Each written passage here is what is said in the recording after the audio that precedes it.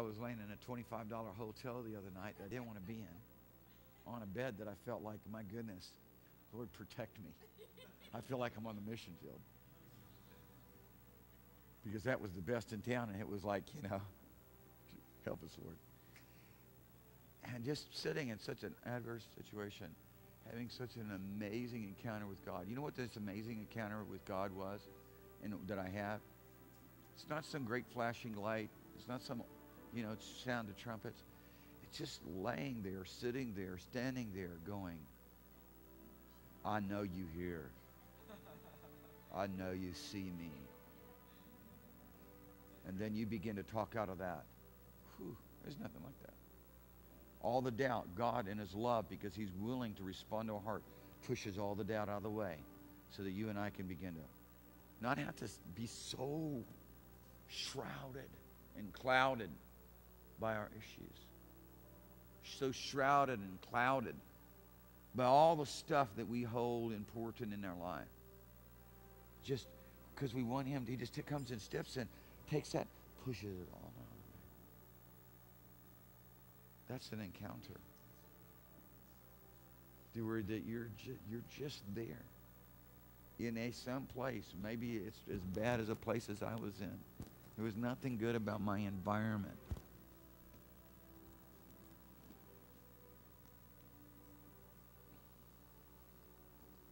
Everywhere, er, let's think about this. Where every action is a reaction to Him. I just I want I want you to let as we get into worship, I want you to let that soak into you. Okay, I want you to think about this, where you lay aside every idea, every every every reaction, reactions that we have planned in our head and in our mind and our thinking, that we just do this because this is what we do and this is what's expected of us and this is what the movement says and this is what everybody else did when they got touched. No, no, no. Through hunger and a thirst for an interaction with God, I suddenly have an encounter. Then I bow down. It's, that's his action creates a reaction in me. And so I'm going to stand here and say, no, Father, I'm not, I'm not, because otherwise you can get lost up. You can get caught up. You can get caught up and literally imprisoned and shut God out of your life by all the ritual, by all the expectation. Well, I can predict what we're supposed to do. Somebody lays hand on me, I'm supposed to fall down. fall down. I don't fall down when I can't stand up no. And it ain't about you know standing, falling, or standing. It ain't even about that. I mean, people are so stuck in their head. Oh, I should fall down. I should stand up. If I don't fall down, then I can think I'm receiving it. You shut God completely out of the picture. God can't, Father can't even be real. He wants to be real. What he wants to, here's how we get to be real with God. Just got to have you, Father. Huh? I tell you right now, there was a time in my life I wanted Father so much. I'm going to tell you right now, if, if, if everybody that was getting touched by God was running and diving head first, I'd do that. Because I, it didn't, didn't matter. If everybody was shaking, I'd shake. I don't care what you got to do. If I was jumping up, kicking their, uh, you know, you know, feet up in the air, I mean, I do whatever it takes. Whatever it takes. I'm just stand there. Act. Can you, you hear what I'm saying? When you recognize there's a move of God, I just, there's something about imitating. So, you know, that that's real. That's real because you're just hungry. How hungry are you? Huh? What do I got to do? What am I going to have to do to have a touch from heaven? Stand with one, stand on one foot, stand on no feet, whatever. Whatever it takes. Whatever it takes, Father. And then somebody says, well, when does that stop? That don't ever stop. When that stops, you stop. When that stops, you're no longer moving forward, you're moving backwards. When the hunger and the thirst and the passion stops. Where do you get to do that? Where do you get to learn to prophesy? You get to learn, where do you get to learn to flow in the things of the, of the Spirit? You get to learn to flow in the things of the Spirit by interacting with Him, by reacting to Him. I'm going to react to Him. I'm not going to, I'm not, I'm going to react to Him. I'm going to react to His presence. I'm going to react to what He's doing. I recognize in a place, and- and that's what I was saying. I recognize God, in a place God's doing something. I don't feel nothing. I'm gonna get in somewhere. I'm not gonna stand on the outside.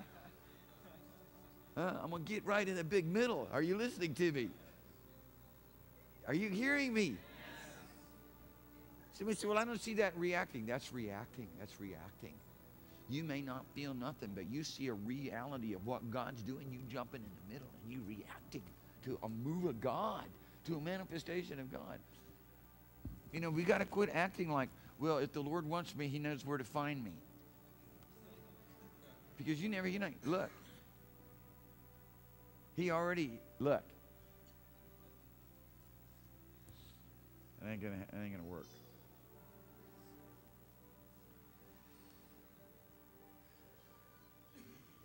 Passionate pursuit of Him. That's just so true. Every false thing is a hindrance between me and Him. I'll move it out of the way. I'm not going to go to prayer because I, because it's a ritual, or because I have to. Because even the most upright, the most pure man is vile before Him. Listen to me.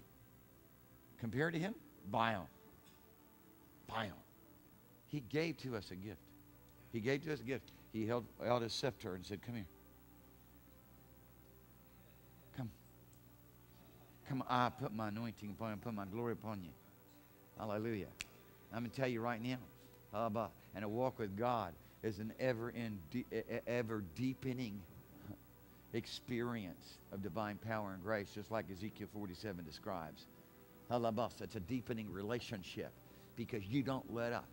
If I were in the midst of, of, of men cursing and swearing and saying every vile thing, yet if every possible opposition was there, I'd find a place of solitude there in that chaos to interact with him. You in a place within none of that stuff here. You can't sip on your rumpus.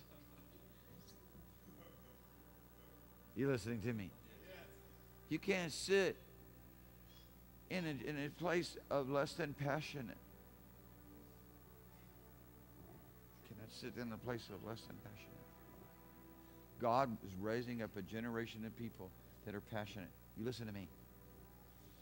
When the light is shining, you don't have to tell men in darkness, hey, did you notice that there was a light? You don't have to go say, hey, you know, actually, um, let me tell you that I'm light. And they're going, where?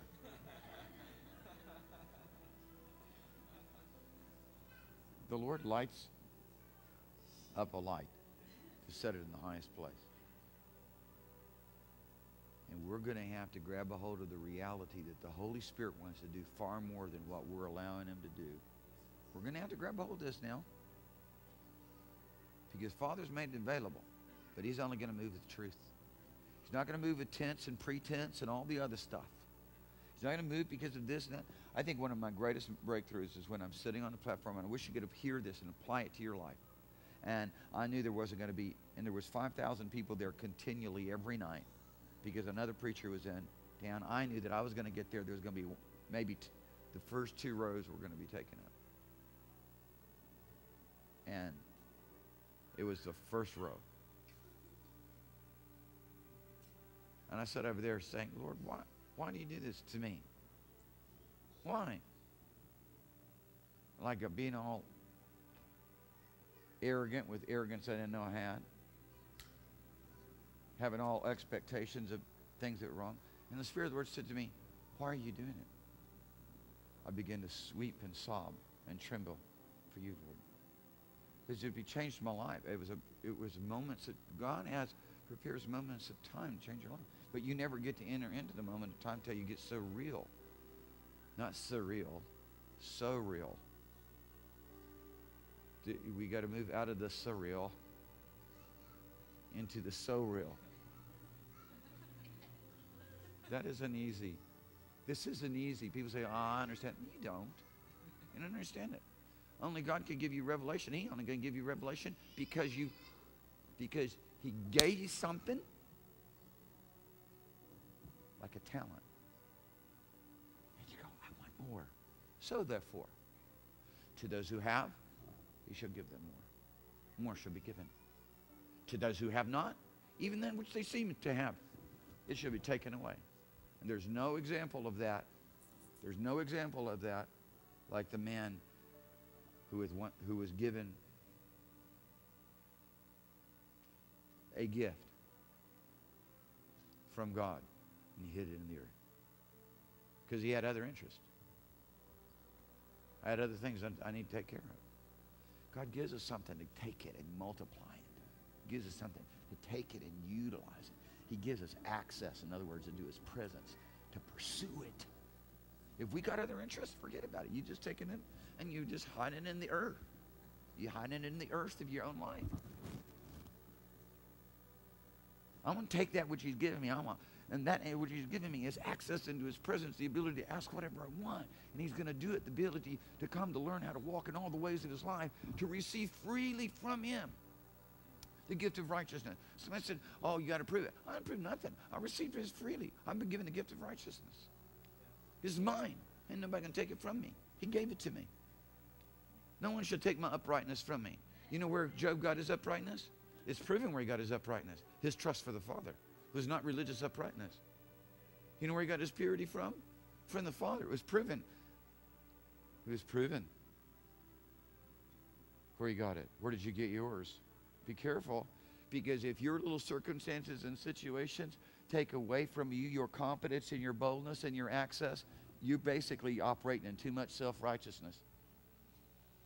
Hmm. I'm telling you right now, this glory, hallelujah, was freely given.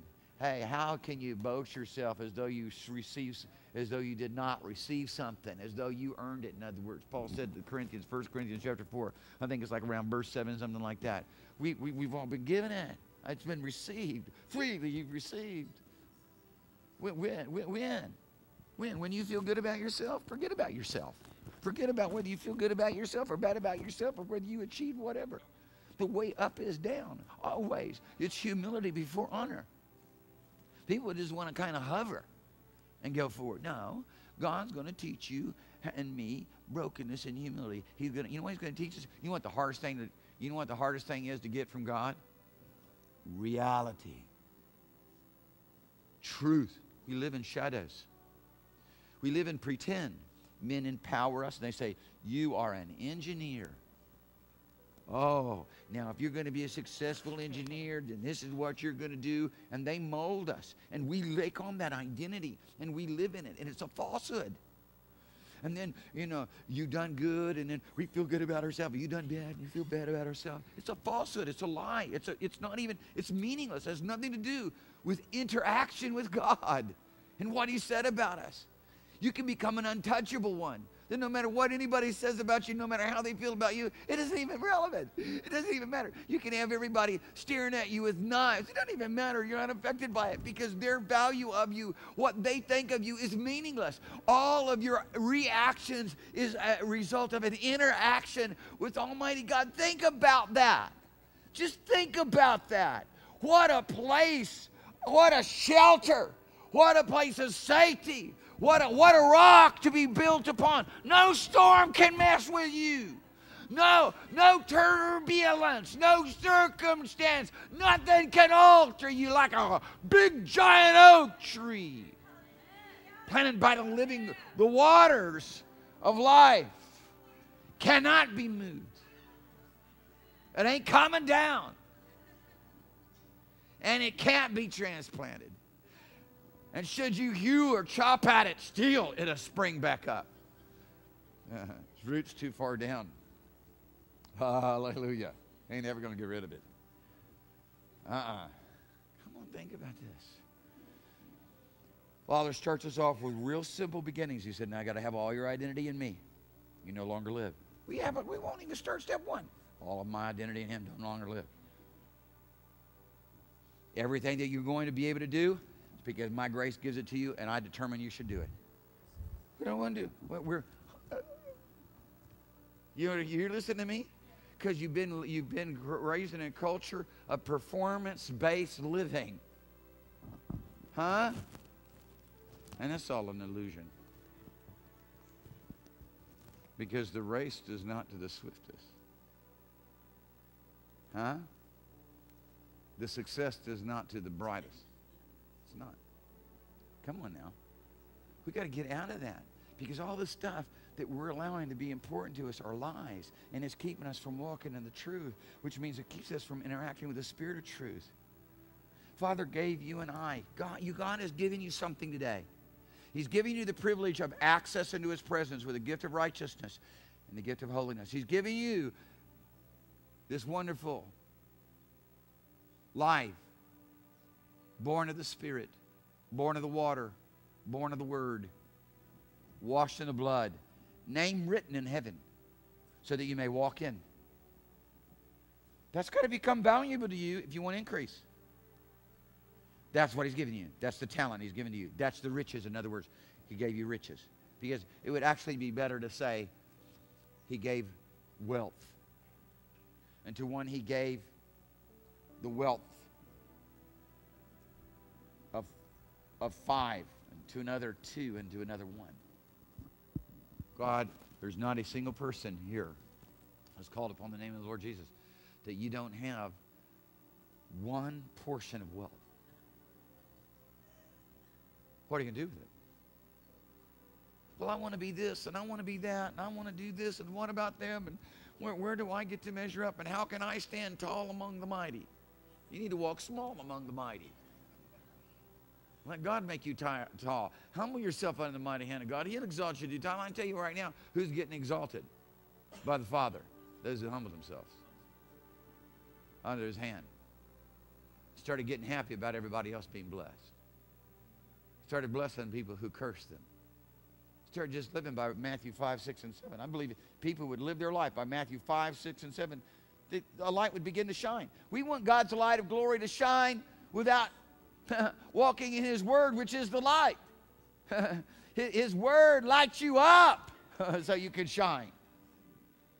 People want to have people want to have the manifestations of the Spirit of holiness. In other words, the gifts. Without the holiness, you can't have it. To have some similitude of something. It looks like it. It, it just becomes, it almost becomes like sleight of hand. It did. It looked like it, but it didn't really was. Really wasn't. It was more emotion than it was reality. Okay, forget about it. I'd rather have. I'd rather look like the, a blooming butt naked idiot. That's the prophet. He had to go walk around prophesy naked. I'd rather look like that and have the reality of interaction with Father and be doing what He's told me to do. Come on. Than have all the praises of men and putting it on. Come on now. This is something you got to grab a hold of in your spirit. I didn't come here because I have to. I'm coming here because it's the religious thing to do. I just resurrection. This is I'm celebrating the resurrection. I came here because it's a reaction to his acting upon me. Uh, hallelujah. Ah, Ramon Sadeki. What, what, what was that action upon me? His word was an, is an action upon me. His word is not dead letter. His word is living and it's powerful. Somebody said, ah, the, the, you know, the, the letter of the law kills. I'm not talking about no letter of the law. I'm talking about the letter of the covenant. I'm talking about the letter of relationship. I'm talking about the, the letter of this uh, new life in God. Think about it, dear people. Spirit and it's life. It's living and it's powerful. What happens when you begin to react to the action of God's word? What happens when you begin to obey? Then what happens is because you have something and you lay hold on it and you take and you won't let it slip, God gives more. He just keeps giving more. He says, Unto you it is given to know the mysteries of the kingdom. Father gives it, He's freely giving it. He's opened up our eyes to understand it because we were, why? Because we were willing to turn just like they turned and begin to walk with them. Come with me, let me, come with me. Leave that stuff behind. What? All the things that I value, all the things that are important to me, all the things that from childhood I was taught to make meaningful, that I was taught to live my life for. Leave it. Come, let me show you another way. Come, the kingdom is now at hand. Jesus comes and declares, The king has come. The angels declared, Peace on earth, goodwill towards men. Behold, this day is born in Bethlehem, in the city of David, Christ the Lord. The King has come, his kingdom now begun to be signed, sealed, delivered in his own blood. Taken into his hand, scroll that no man in earth, from heaven or under the earth, is found worthy to open up.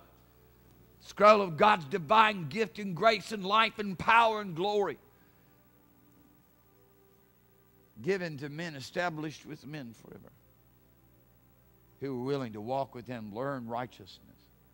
Oh, you never get, I don't care how, this, I don't care how hard you try. Until you're born of the Spirit, you don't have the nature to learn it God's way. All you can learn is the righteousness of men. All you can learn is the integrity of men. All you can learn is the uprightness of men, what men think is good. No, oh, they like you because, oh, you honorable. They don't even know what honor is. Oh, they like you because they think you're honest. They don't even know what honesty is. They just have a little small token of it, and it's subjective. Huh? And as long as it, as long as it pleases them on their scale, then you are. I'm going to tell you right now, they're still saying you're unhonorable behind your back because that's just the way men are. If you're depending upon that, you ain't going to have nothing. Oh, well, I just want to walk in integrity before men. You know, this, uh, this crazy notion, I just want to be upright before men. What? They talking bad about you as soon as you, as soon as you left the room. Why you doing all the stuff you can do to be upright before them? Yeah, that's no light. That's no glory. The Lord didn't say, Your light will be your integrity, your honesty, your uprightness. He did not say that. Jesus is the light the very living power. And nobody, nobody gets to see Jesus without the Holy Ghost. It's the Holy Ghost that reveals him. You know, I got to learn how to walk in a whole new dimension of life, a whole other value system. Is it going to have honesty in it? Absolutely. There's going to be no lie in it. Huh? Is it going to have integrity? Yeah, and it's going to be so full of integrity, men won't even be able to recognize it because it will not be limited to their perception of integrity. Integrity is defined by men is that you did me you did right by me according to my standard of what I expect you to do for me. That's it. And usually that's that's involved in how much money they got out of the deal. It's very self-serving. Just it, self-serving. Think about it. Just think about it. Think about it. Wrong judgments will keep you out of this realm. The Lord just tries to start us off real simple. You no longer live. I'm going to give you a gift. I'm going to give you one portion of wealth. It's I, here's Father saying, all I see from here on out is Christ. You no longer live. Father says, comes to you and says, Jason, you no longer live. It's only Jesus. And you're going, oh, yeah, I live. Oh, yeah, I'm feeling really bad about myself. Oh, mm, yeah, just totally bummed. You're just going to have to get over that if you want to take the next step because I got more. Because to him to have shall receive more. If you have, you have it. You, if you have it, you, guess what? You're not wondering if you have it. You know you have it. I got it. It's mine. Here's mine. It's here, right here. It's mine. They that have shall receive more. They that don't have, that which they seem to have should be taken away from them. It's the fundamental rule. Katakina kasateya. Hallelujah. Hambrusatai. Sometimes I think that worship ought to be at the end of the meeting.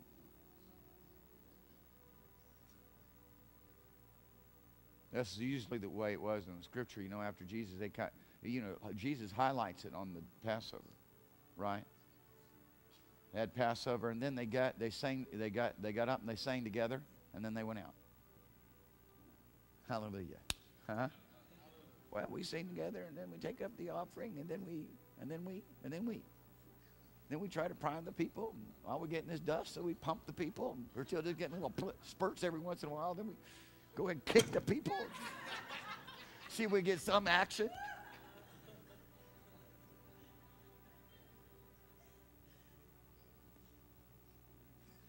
And so is church. And we got tired of that. And one preacher said to me, It's just so much nicer just to let it all go and tell everybody about love just forget about it all and just tell everybody that the Lord loves them and we love them and they're just loved. And just sit there and just let them be sorrowful and tell them, Come now, we would pray for you and the Lord would touch you. And, you know, give it just super light sermon. Not light sermon, super light sermon.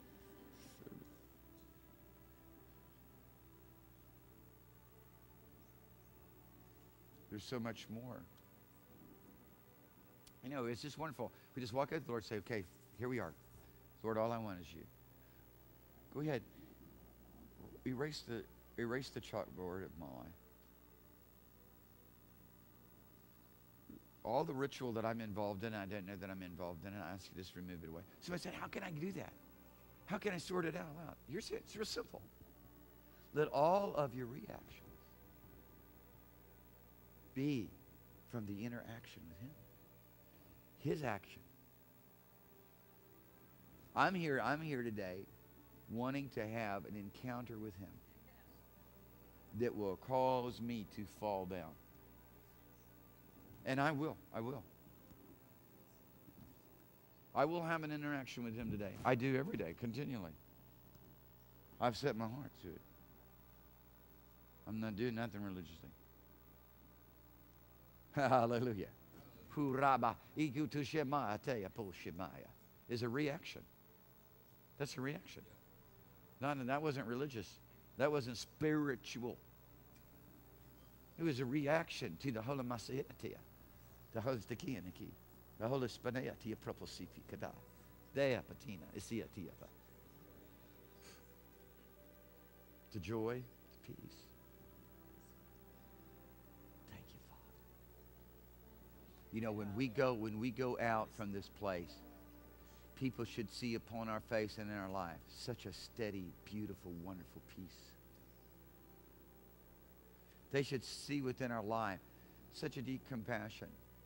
Do you know that you don't get to move any more forward in God until you're willing to embrace more compassion? You don't. You're stuck. Until you're willing to lay down your life for others, not because you have to, because, but because the compassion compels you. So what if, what if, what if you're just stuck? They're being mean to me. They're being ornery to me. They're talking bad about me. You just got you and yourself and you. Because you got to get over it. One person, somebody say, he's talking about me. I'm talking about all of us. I'm talking about me. And I'm talking about you. You are right. But you know what? We're not just talking about you. Because everybody in here that's got any sense knows I'm talking about you. Everybody else is aloof.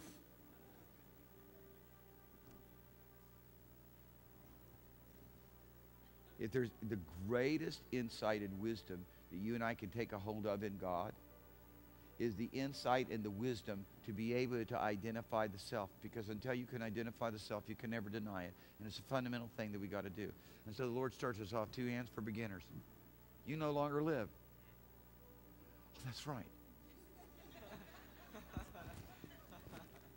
Let me write that down somewhere. Where's it? You know, you already got 10,000 post-it notes. I no longer live.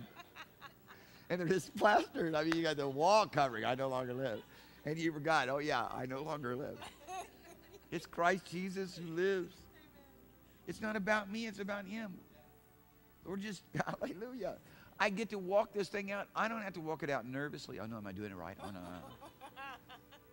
I'm not sure. I am confident. I'm living out his life. He's ordained it. He orchestrates it. He orders our steps. Every day every year, every day, every month, every day, every week, every month, every year, every decade takes us deeper and deeper and deeper and deeper and deeper and deeper.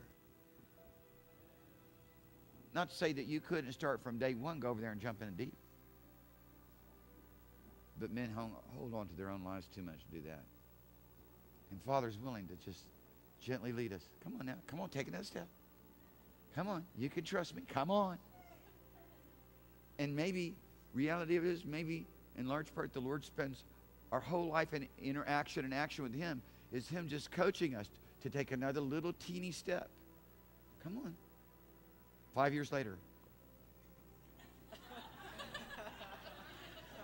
Come on, you can do it.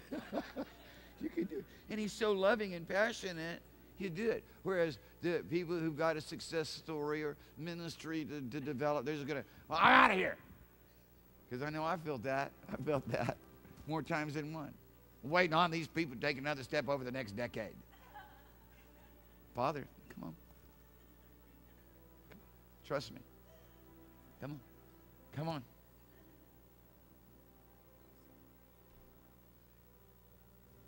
Jesus. His Father is amazing, isn't he? Well, I noticed that a lot of people forgot to shut, set their, their clocks.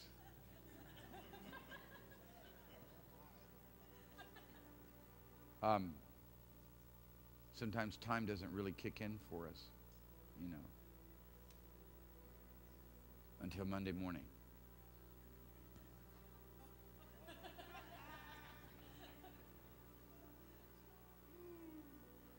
Do, I, do you want me to repeat that?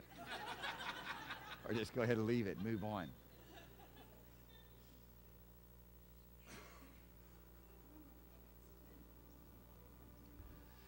Just stay there for a little bit, okay? Just stay there. Just stay there. Just do what I'm doing, okay? You don't have to.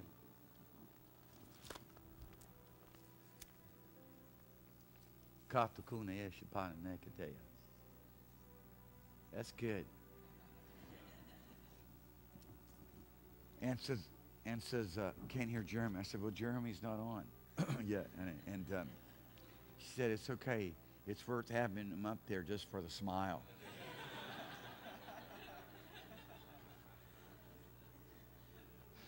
I tell you, you look at somebody smiling, you can, you know, you feel good, right? You look at somebody being all angry and mad, you just get mad too. Till we stop living that life. Then all of a sudden you start coming into a life that doesn't matter whether they're smiling or whether they're looking angry. It Shouldn't change you. You're already in another realm. You were given a portion of wealth to live in another realm. Whew. I'm gonna bring increase. Amen. We're gonna have increase. Look, look in, look in the, look here in the, look here with me in in, in Matthew, um, chapter thirteen and just read something to you. Very important. Jesus goes to ministering, and you know, everybody's standing there looking confused. They're like,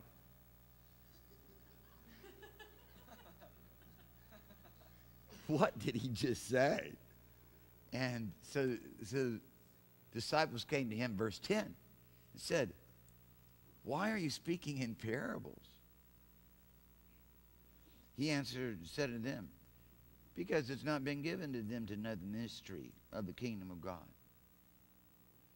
But to them, but it, because it is, is, it is given unto you to know the king, mysteries of the kingdom of heaven. But to them it's not given. He says, First, whoever has, to him shall be given, and he shall have more abundance. But whosoever has not, from him shall be taken away even that which she has. And now he brings in the application. And he says, in just a minute, listen to this. Therefore, I speak to them in parables, so that hearing they will not be able to hear, neither will they be able to understand, so that it might be fulfilled which was spoken by Elijah, um, forgive me, by Isaiah, when he said, Hearing you should not hear, hearing you should you hear and shall not understand, and seeing you shall see and shall not perceive. For the, this people's heart is waxed gross, and their ears are dull of hearing, and their eyes they have closed, lest at any time they should see with their eyes and hear with their ears, and should understand with their heart, and should be converted, and I should heal them. They were given a measure of wealth, but they wouldn't do anything with it. They were given the privilege of access into the presence of the Lord on a limited degree. but still, nonetheless, an access that brought to them a place of immeasurable blessing. And yet they turned their heart away under their own purposes and on their own desires and unto their own ideas and even unto false worship of God. He said, No, I'm not taking it anymore. I'm going to put a judgment upon you and show you that you can't continue with me. I'm, I'm, I'm putting a, I'm drawing a line here. You can't continue with me. There's no way that a man on, on this earth is a, able to interact with God unless Father allows us the privilege of interaction with Him. The beautiful thing is He's opened up the door to whosoever will. The beautiful thing is He's poured out His Spirit upon all flesh. Everybody's invited to come, nobody's left out. But what happens when God's people are unwilling to take what God has given to them and now value it in such a way to where that it begins to multiply and increase? Well, they're going to go backwards. They're not going to go forward, they're going to go backwards. And ultimately, there's going to come a point in time where their eyes will be blinded. They will not be able to move forward. They're not going to be able to hear anymore. They're not going to be able to see anymore. I mean, that's ultimately the place where Father says, and there's no one in here that's that way. That's the place the Father says, no more. We're done here. I'm going to turn into another nation. I'm going to turn into the, I'm going to turn into the, all the nations of the earth, and I'm going to invite them in also. No, not to say that that wasn't Father's plan all along. It was Father's plan all along. It wasn't Father's plan, I don't believe, to exclude in any way. I don't believe in any way it was his choice or his desire to exclude Israel, to bring blindness to Israel, spiritual blindness to Israel. It was their choice. They kept hardening their heart, they kept being unwilling to participate and move forward with the Lord. Now, let's look at this. Let's look at another dimension of this for just a minute.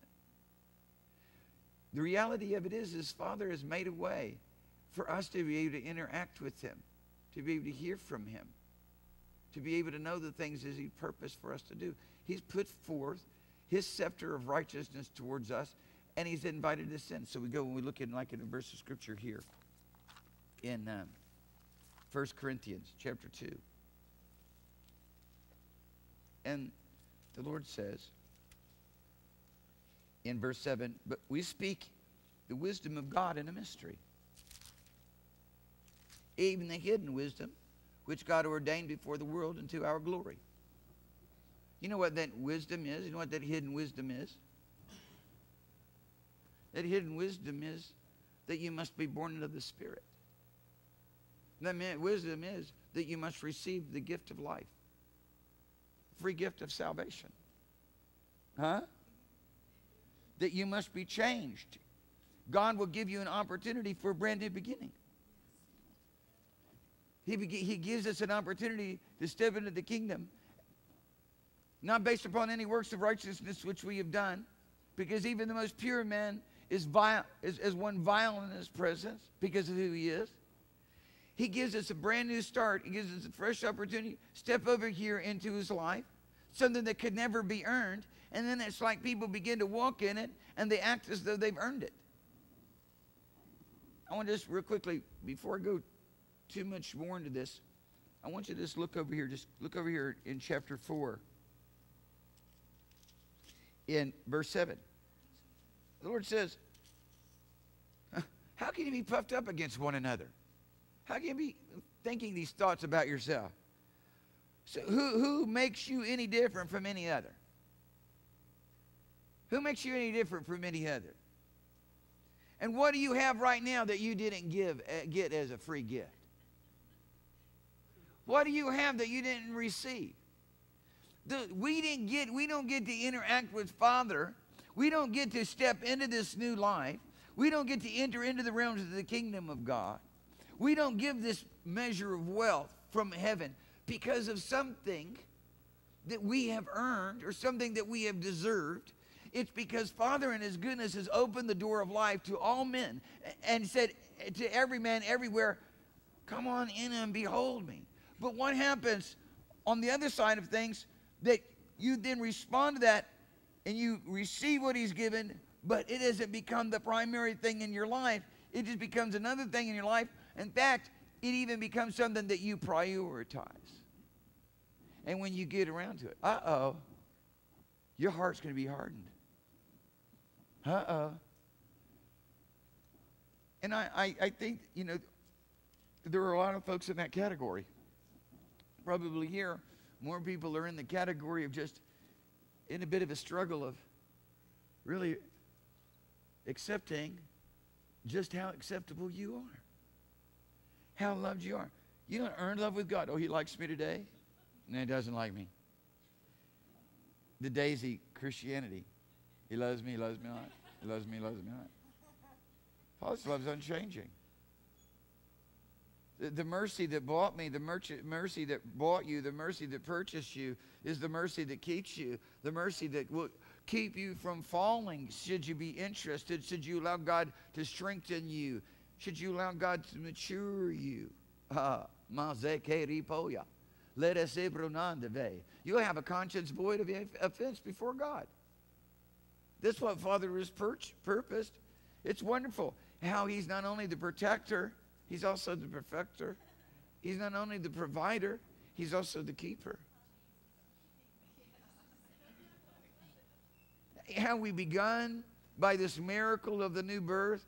Now then, to have it based upon what we have the ability to do, or have we, are we willing to come and recognize, wait a minute, all I got to do is just say, Holy Spirit, come strengthen me. Somebody was telling me the other day, I just don't know how to love him.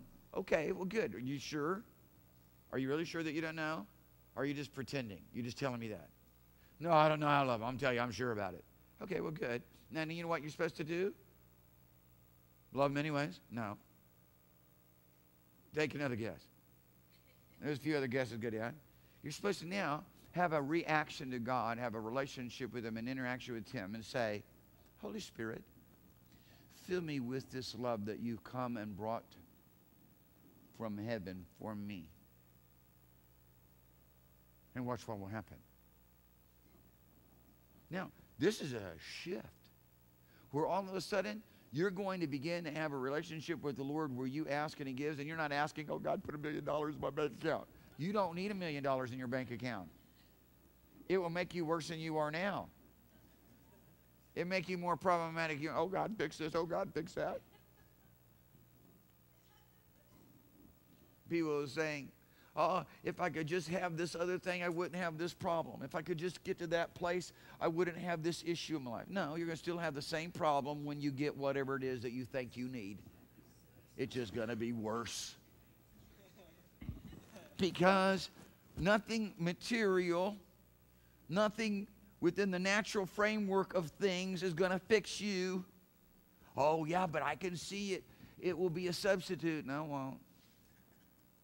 Demons don't leave because you finally got what you need, you thought you needed. They stay around and they get amplified. But what happens when we begin to quit asking a fantasy, something that we can consume in our own interest? in our own lust. Oh, if I only had this, or if I could only do this, or if I could only accomplish this, or if I only could be this, I'd feel better about myself and I wouldn't be tormented so much. Yes, you would. You'd be tormented more. Because when you get that, you're just going to have more problems. The more stuff you have, the more problems you have. Are you listening to me?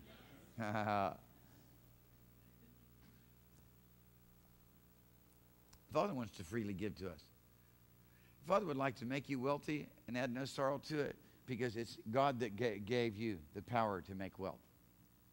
And, but that's never going to happen until you recognize, no, it's just Him. He's done it. It has nothing to do with me. It's His. Doesn't even belong to me. People basically live their life holding on to their own self and everything about their self. It belongs to me. It's mine.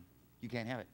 Get away. Can't have it. It's mine. I can't believe that, that person wanted what was mine. The Lord said, if you have a coat, if you have a shirt, and, and someone asks you for your shirt, give them your shirt and give them your coat also. Go ahead and double bless them. Oh, that's my shirt. It's the only shirt I have. You need to go earn your shirt. I earned my shirt. The Lord said, No, no, no, no. I don't want you. I don't even want you to live that way. I don't need. It's not yours, anyways. I gave it to you. Oh, yeah, that's right. There's nothing that belongs to me. I, everything that I have, Father gave it to me. How can I act like that? What I have, I didn't receive from Him. How many things do you have in your life that you feel like somehow you earned it? It's yours. It's your position. It's your stuff. It's your things. It's your idea. Don't forget it was my idea. You're cutting God out of completely out of the picture out of your life. Don't forget, I did that. Oh, well, we won't. Here, let's make a special note.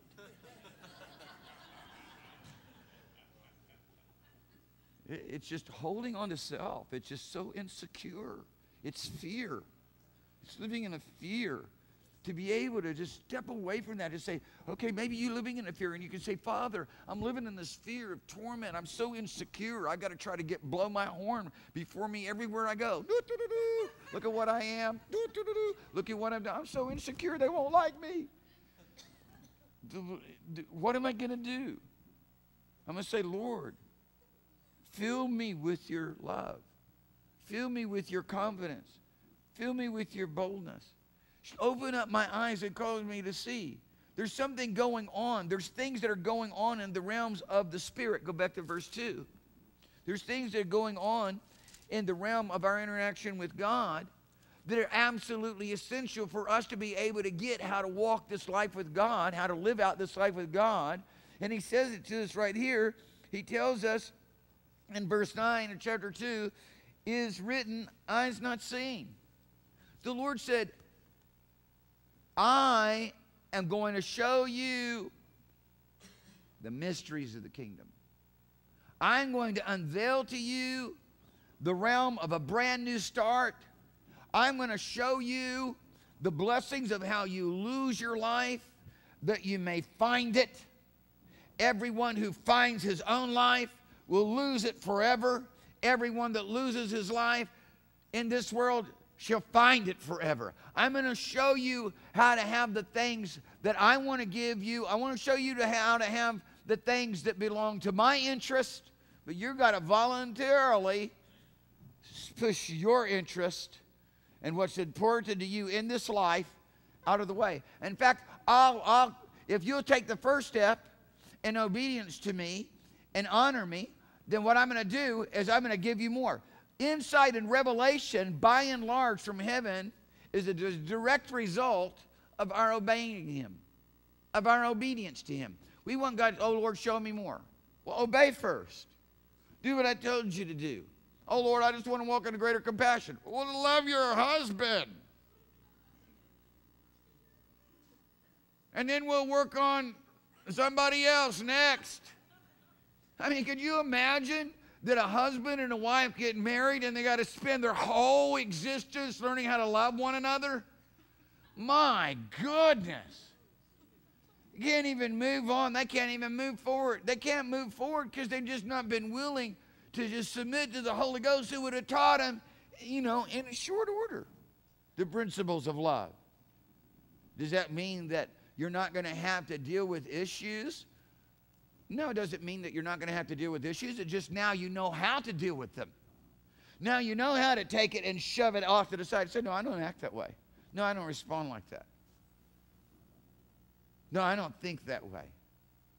Holy Spirit, come to me. Come feel me. Come give me the ability to live this life that you supplied to me. You've given to me a portion of wealth, one portion of wealth.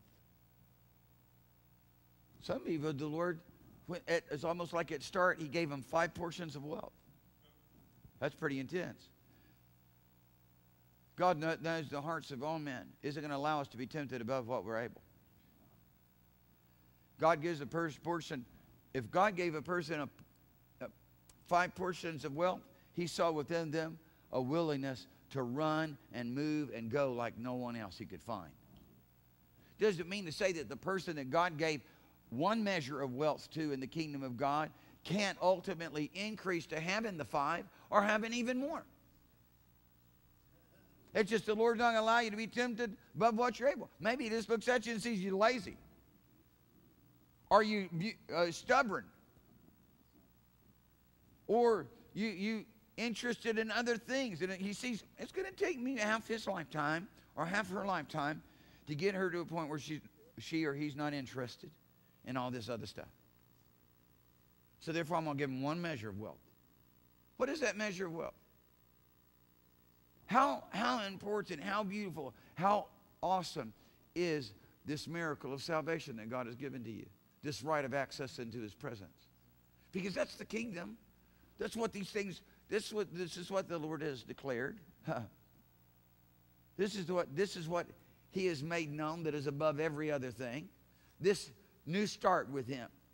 This ability to be able to see what eyes not seen this ability to hear what ears not heard.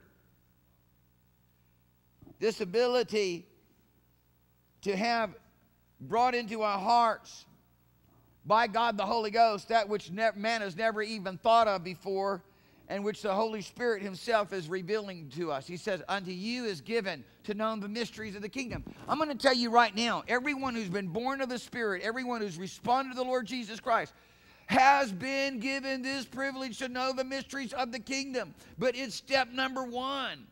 It's obedience number one. It's, it's your willingness to say, okay, this is what you've called me to do. Father, I'm going to do it with all my heart. I'm going to, I'll value this. I want to value this. You, you know, at the beginning of our salvation, the Lord put a whole lot of value in our spirit and in our heart about this wonderful new life that we have in Him. And somewhere along the way, many people's first love diminishes. Somewhere along the way, people become interested. They become fashionable, in, as it were, in the church. Now they begin to start doing things more religiously, more out of just a response to men's expectations and their own expectations and religious expectations, rather than a reality of I'm now interacting with God. I, I have this privilege, this access. I mean, when you come to when you come to cherish what God has given to you, and you don't allow it, allow it to become something that is not relevant to your life or not important in your life. It doesn't become relevant and not important to your life because you don't use it.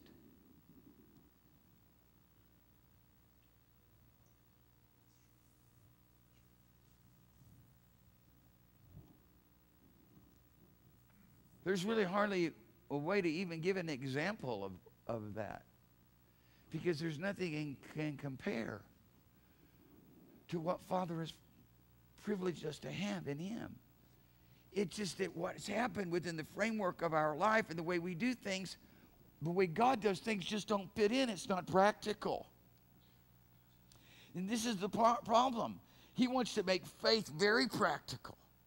He wants to make flowing and operating in the realms of the Holy Ghost, the heavenly realm, very practical and applicable to our life. We're so focused on the fact that we've got to run to work in the morning to meet the bills. We're so, we're so focused on that. And when you get focused on that, when you get trapped on that, you can't have the kingdom. You can't have it. It was given unto you know the mysteries of the kingdom, but you didn't obey. He said, Don't be concerned about your food. People concerned all the time. Don't be concerned. I mean, you know, Uh, usually will say take no thought. Reality of it is, the word is more perfectly expressed than just the, using the English word concerned. Don't be concerned. It changes the whole approach to it all. Now you're not all wrapped around it. Now you're not living your life for yourself in this world, responding to the pressures and the demands placed upon you in a, in a kingdom of darkness, a place that is opposite of where Father wants to lead us, a place that is completely opposite from the gift, the measure, that one portion of wealth that was given to us to now be able to learn how to live in this heavenly realm. So, Father gives us these basic principles in Matthew chapter 5 and Matthew chapter 6 and Matthew chapter 7 so that we can understand how now to live in a whole nother realm. He says, Forsake all the things that have been placed upon you that are meaning for you. Come and follow me. I'm going to show you another way. I'm going to show the entrance into the kingdom. We can't. We don't. We're strapped down. We're locked down. Well, I got this. I got that. I got to do that thing and the other thing. And people won't like me if I don't or whatever. I'll be a failure to my parents, a disappointment to my friends. Well, you got to hate. You got to learn how to hate your life in this world. Now that is a paradox to most people. That you talk about a parable, rather, you know. And, and, and it's a paradox too. But it, I mean, talk about a parable. How on earth can you hate your life in this world? What's God saying? He said, "I want to show you some such something so much better than what you've been doing and how you've been living that you just despise it, hate it, would never want to go back to that." But it's going to take it's going to take leaving where you've been comfortable living. You got to leave where you've been comfortable living. You got to leave where all your influences are. All the people think you so special and important. Go over to where someplace to a place where people want to just kill you. they just hate you at the very sight of you. They don't know you. They just hate you. You got to go over where people don't like you, where you've never been before, where you're not comfortable, where you don't have anything but God. It's true. That's what happened with Abraham said, I want you to leave the place where you were born, the place of your family, the place of your security, the place of, of, of your fame and of your fortune and of your future. And I want you to come out along with me into a place that I will show you. I want you to be a separate one. That's what Hebrew means. Ivrit means. I want you to be so separate from everyone else, it's like crossing on the other side of the river away from humanity to be ivrit, to be separated. God's called us to be separated. Separated in what? Separated unto Him, not separated from everybody else. So we dress up in what? White gowns with pink spots? Huh? And wear little crowns with stars in it? No. I mean, we just go on all these kind of. I mean, obviously that's swinging the pendulum. People, go, but I'm telling you right now, there's a lot of things going on that looks a whole lot like that, and that's supposed to be separate from the world. That ain't separate from the world. You just weird. You just all you done is just made it just that much more problematic. God wants us to be separate unto a realm, a heavenly realm that everybody looks at and goes, "Whoa." Like, like the Queen of Sheba did when she saw the glory realm that Solomon was privileged to be separate. God gave him a, a, portion, five portions. I don't know how much you would measure that. Let's just say it's five portions of wealth so that he could show forth that separateness, that glory, that blessing that only belongs to the people of the Lord. Well, I must not be a people of the Lord because I'm just not blessed. That's your problem. You're going to have to accept the blessing of God that has been extended to all men. Quit living in a realm tossed about by doubt and unbelief. That's why their hearts were hardened. Their hearts were hardened because they wouldn't allow the word to be mixed with faith. Their hearts were hardened because of constant murmuring and complaint. They wouldn't believe what was told them. Well, where is the land? I'd rather be in leeks, have leeks and garlics, where there not enough graves in Egypt that must bring us out here to bury us? Or was really, was there not enough room for a grave for all of us in Egypt? So that we need to be brought out to. What a relationship. What a wrong perspective of who God is. You know, it's a wonderful thing when you start living like a little child. Huh? You know, I'm not responsible for the bills. I am learning in God how to be able to manage greater wealth. I'm not responsible for the bills. Has nothing to do with me. Got a problem with the way I manage bills? Talk to Papa. I'm not responsible. I'm just doing what he's telling me to do. Hmm? The more we move in faith, the more we have a company of people that move in faith with us, the greater that increase comes. The greater that financial ability, spiritual ability. And of course, the Lord says, He measures it like this. He says, if you can't be faithful with unrighteous mammon, how can you be faithful with the true riches? I've given you a measure. If you'll be, if you'll go ahead and be faithful with the measure, that which you've been given, you're going to have an increase. More will be given to you. God's come to show you things that has never entered into the hearts of men. God's come to reveal the secrets of, of the ages to you. He's come to empower you to live in a realm of glory that you can't even imagine. But you're going to have to first be obedient with the first thing and open your mouth and say, Thank you, Lord, I'm alive in you. And until you can do that on a consistent basis, until you're willing just to embrace this whole beautiful privilege of I no longer live, it's Jesus that lives. Well, I, I don't, I, I'm not sure. Then you're not, you know, God will give you an assurance of salvation.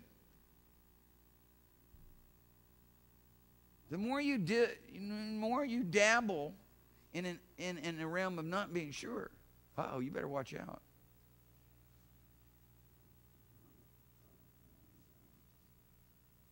If I say to you, do you know you're right with God? Do you know you're on, on your way to heaven? Do you know that your name is written in the book of life?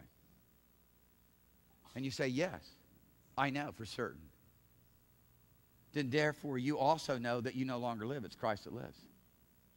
And then now all of a sudden you've got all these measures, these performance measures that you placed on yourself. So now you're not sure, certain. Now you're starting to stagger. Wait a minute. The others in the unseen realm, and it's all based upon the goodness of God and the grace of God and the mercy of God.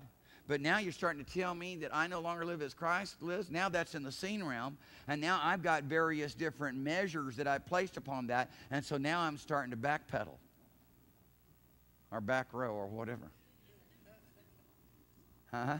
Uh oh. No. The same one that wrote your name in the Lamb's Book of Life and has, and has made that all, worked all of that out, is the same one that has given you this gift that of Christ Jesus living in you who is now training you and teaching you. And until you begin to learn or, or until you begin to embrace it, then you're never able to move forward because we go teaching every man and warning every man so that we may present every man perfect in Christ Jesus. And this is how we do it by telling every man the mystery of the fellowship. Christ is in you. And you're not going to move forward until you embrace this. You're going to have to receive freely this gift.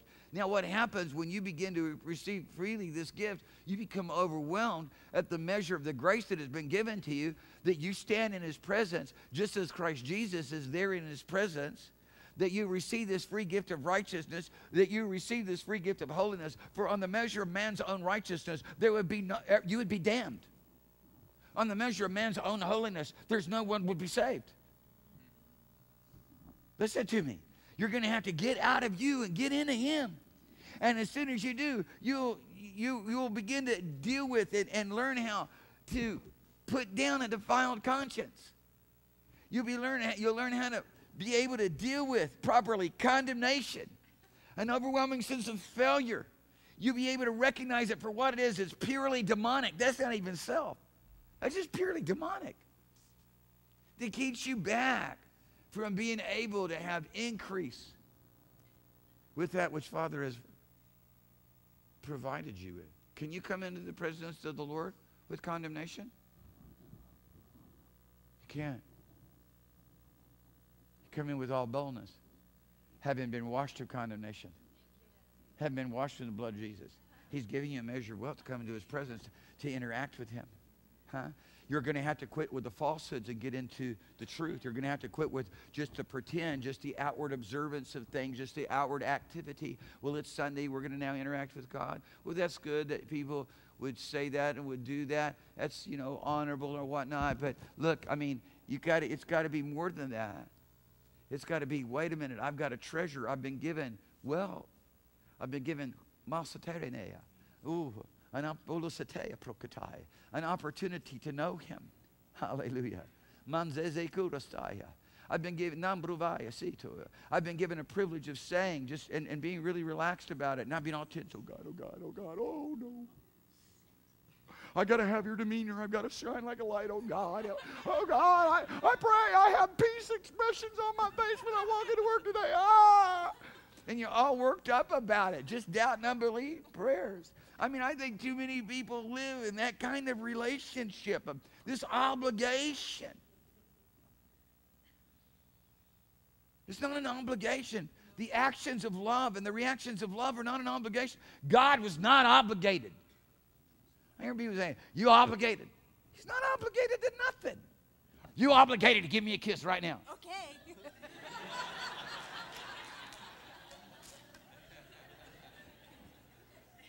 Obligated. It's not, not obligation. You even want to try to put it in the framework of profane covenants. That's nonsense. That's nonsense. There's a far greater realm that Father would love to introduce us to. It's the realm of His love and His purity and His gentleness. And the only way we can even begin to understand it is servitude and, and being childlike because we have no other means be, to be even, even be able to relate to what it is He's trying to tell us. And we're never going to understand until we walk in it. I just pray every one of you quit being grown ups. Stop from this day on. Stop being grown ups. Huh? Quit acting so grown up. Stop being so responsible for your life.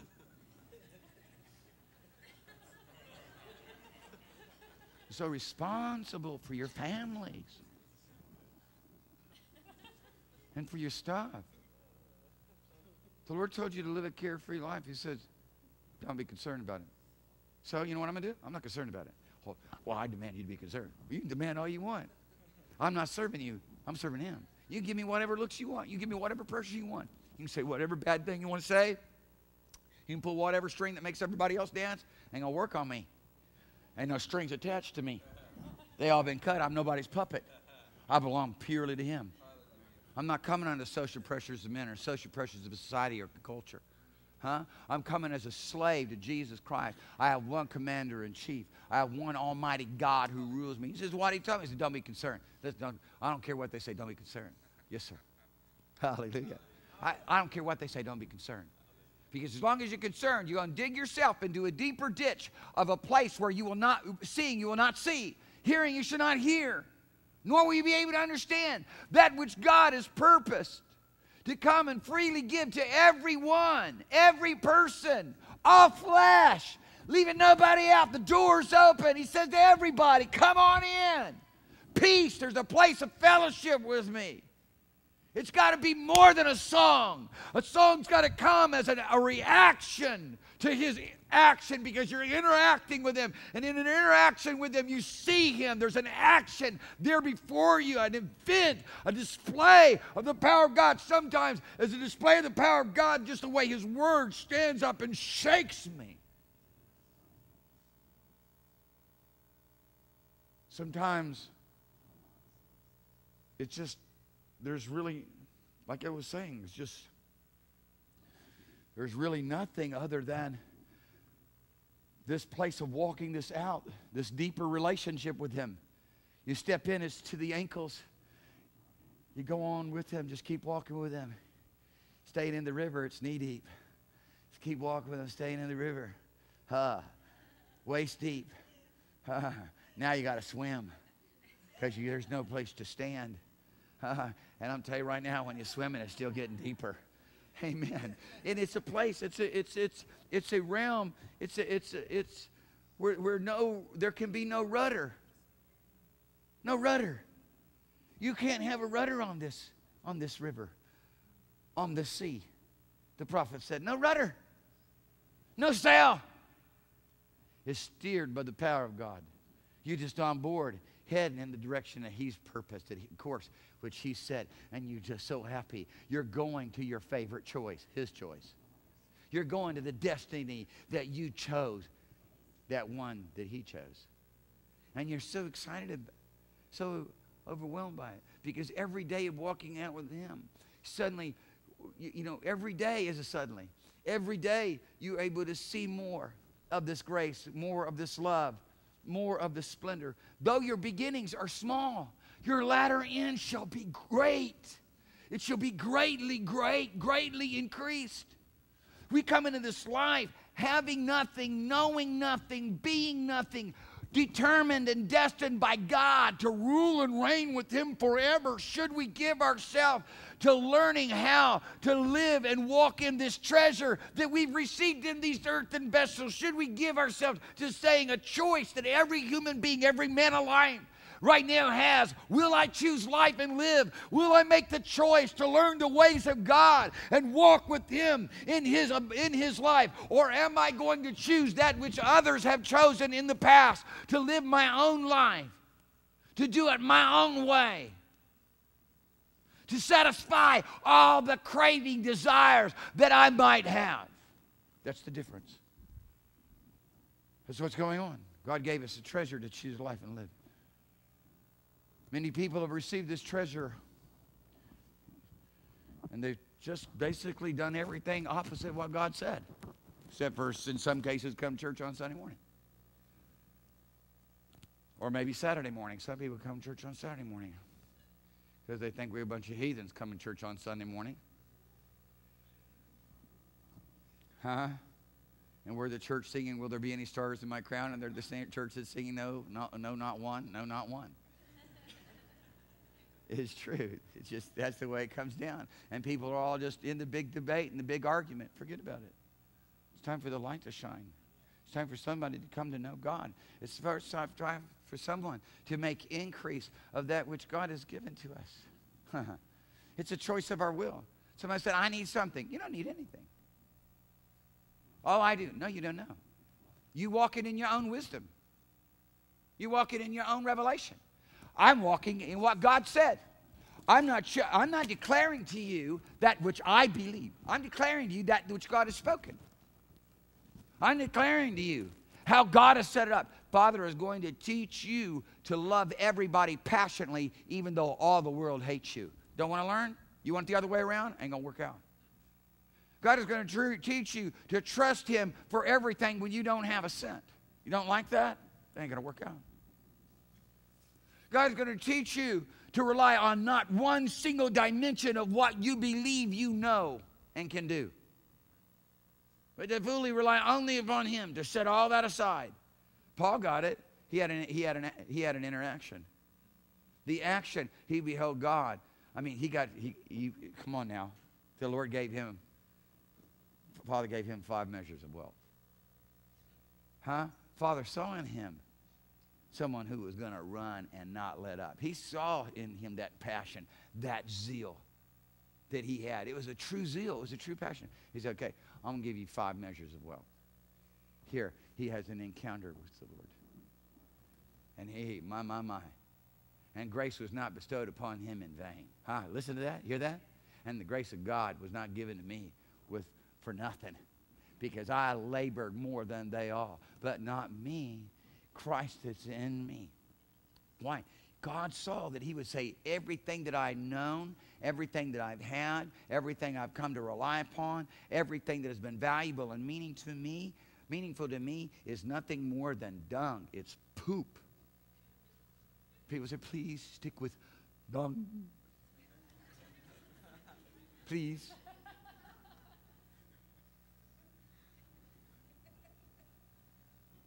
It is sanctified among our ears. I, I, would, I would hope that it's truly that way. That that's the way it is in your living room when you're watching television. Huh? And anywhere else. Amen.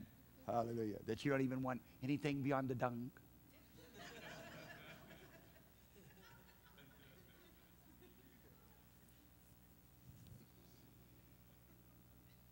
Have you gotten there yet? Have you been willing to let God take you there yet? Are you, did, did the Lord give you a measure of wealth and you're standing there just loving on Him, just so blessed, and then you just sit down? And you've been saying, how long are you going to sit there? I think some people have been sitting there for about 15, 20 years, just sitting there. I surrender all. I surrender all.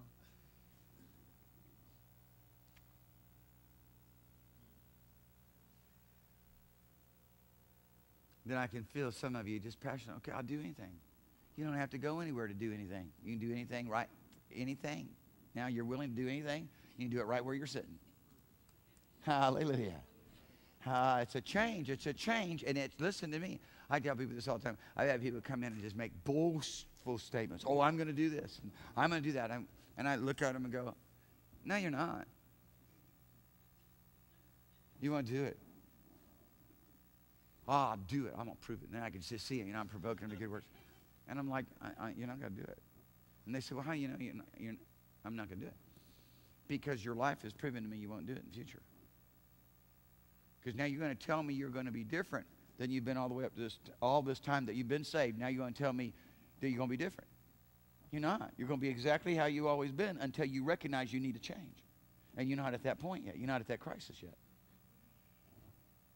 And unfortunately, every time I've had this encounter with people, they don't, they don't say to me the most important salient point. What crisis do I need? What brings me to that point? It's just like they walk out. You can hear it. It's like loud. Well, you just wait and see. and I don't know. I can already predict the future. So, oh, he cursed me. He cursed me. You know. No, I blessed him. I'm, I'm just trying to help the persons or people understand that this is a radical commitment to different. To different. And as long as I'm relying on myself, I'll never be different. But if I solely abandon all that I have relied upon and say, now, I'm not going to be concerned no more. I'm casting, I'm, I'm, I'm not going to worry about nothing. Try that on for one week. No, two hands for beginners. For five hours. Oh, okay. Then work towards one day. One day.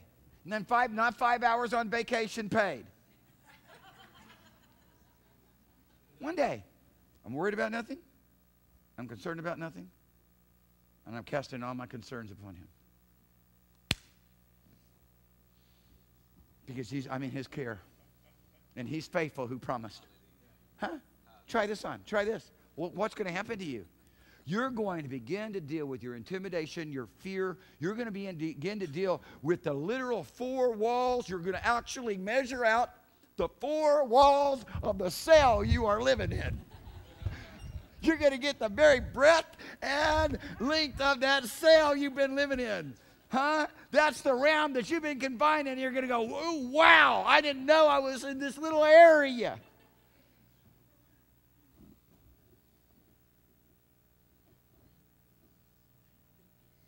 Then you can begin to cry out to God and give him thanks. You have a bust out. I don't want to live in this place anymore.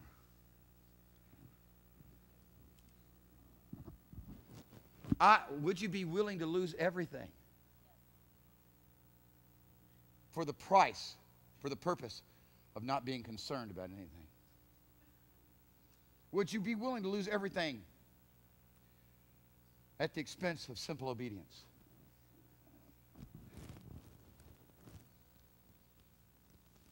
Uh oh. Come on now.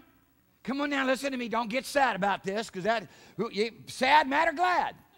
Glad because you've been here, you've heard the good news. Sad because you heard it aren't going to do it. Anytime I'm preaching and I see people get sad, they the rich man talking to Jesus, who went away sad because they were not willing to do it. Don't get sad on me because I'm going to get a word of knowledge about you. Because God has already laid out for us how this works. We know who the religious people are. They mad at us. You need to get happy about this. Oh no, I'm really because the manifestation of concern and worry and won't let go. No, I'm staying right here. We take those to the slaughterhouse. I'm going to say that. We take those to the slaughterhouse. They're not workable. That's what the Word of God says. Fit for the slaughter. That's what the Word of the Lord says. Come on now. Come on now. Come on now. God has called you, I'm sorry to tell you, to live in heaven.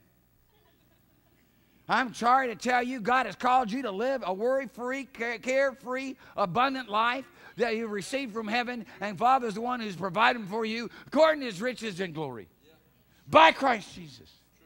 To live out a life so freely given to us that we need never have a sense of sin, a conscience of sin, a condemnation anymore, for we've been given the free gift of righteousness and holiness and acceptance in the beloved. And the one who called us is also faithful also to establish us. He who began a good work shall also perfect it or complete it. I mean, to get locked down into hell, this is amazing grace. How sweet the sound. I mean, it becomes a living expression that causes you to shout in the most the most intense crisis that causes you to rejoice when everything looks like it's going against you because you've been persuaded. Not out of religion, won't persuade you, but out of interaction with Him, out of relationship with Him, out of learning how to react to that which He does. His Word is an action for me that I must react to. His word is a challenge to me. Every word is a challenge to me. Every word is a question to me. Every word I hear Father saying to me, Son, are you willing to do it yet? Are you willing? Come on. I want to use you more. Are you willing? Please. Can't you just trust me a little? Here, just a little. Can't you just let go of your of your stuff, of your boo? of your little security blankets? Can't you let go of your own life? Your own life. Your own life. You must lose it.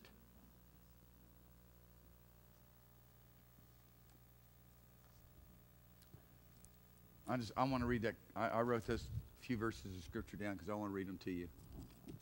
It's found there in um, Matthew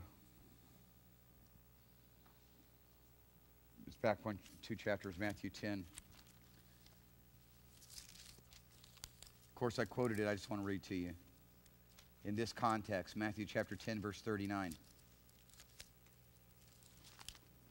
How many of you understand God's not call, calling you to, to, to poverty and misery?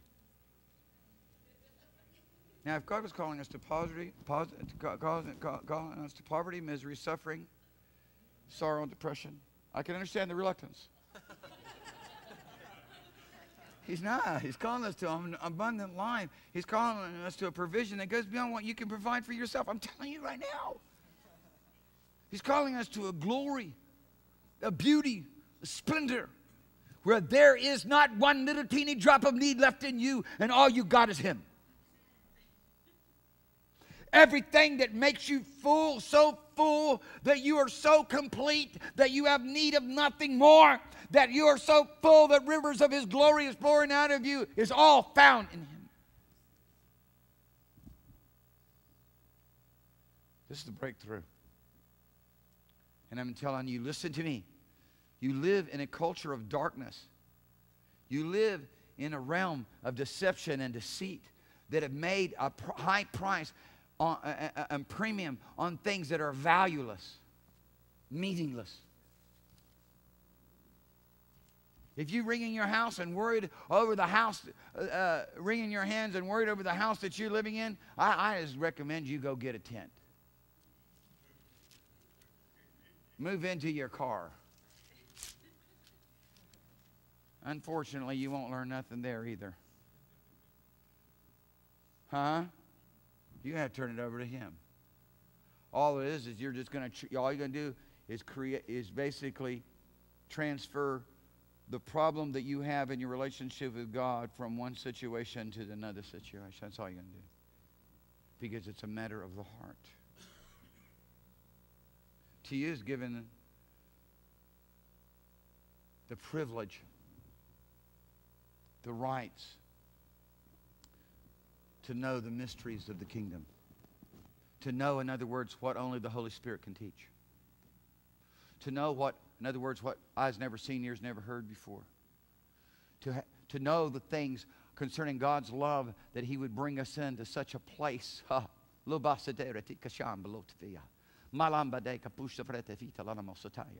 Well, people make decisions all the time. And, you know, the Lord just dealt with me about this real strong this past week of where he showed me where I've been making decisions like this, where I make decisions to limit him. He said, no, no, no, don't do it that way. You're doing it that way because you see the framework. You live in an, I'm, see, I live in the framework. I've lived in a framework of, of where my faith operates. And if you're not careful, you can get comfortable with that. So within the way my faith operates, well, I can do it. I don't have anybody else to do it. Well, you know what? You could go hire the, the person to do it and believe me for the finances. But I don't operate that way. I have found a faith, I got a faith realm to do things I've grown into a faith realm to do things the way I'm doing them. Okay? And the Lord says, Why you put a threshold? Why you limit it there? Stop. And I go, Okay. Because the Lord spoke to me. He said, I'm not going to bless it. I won't bless you no more in it. Because I'm tired of it. It pleased him before. It, it was a promotion before, but he's tired of it now. Because he's got, he's got things he's got to watch me get done. You understand?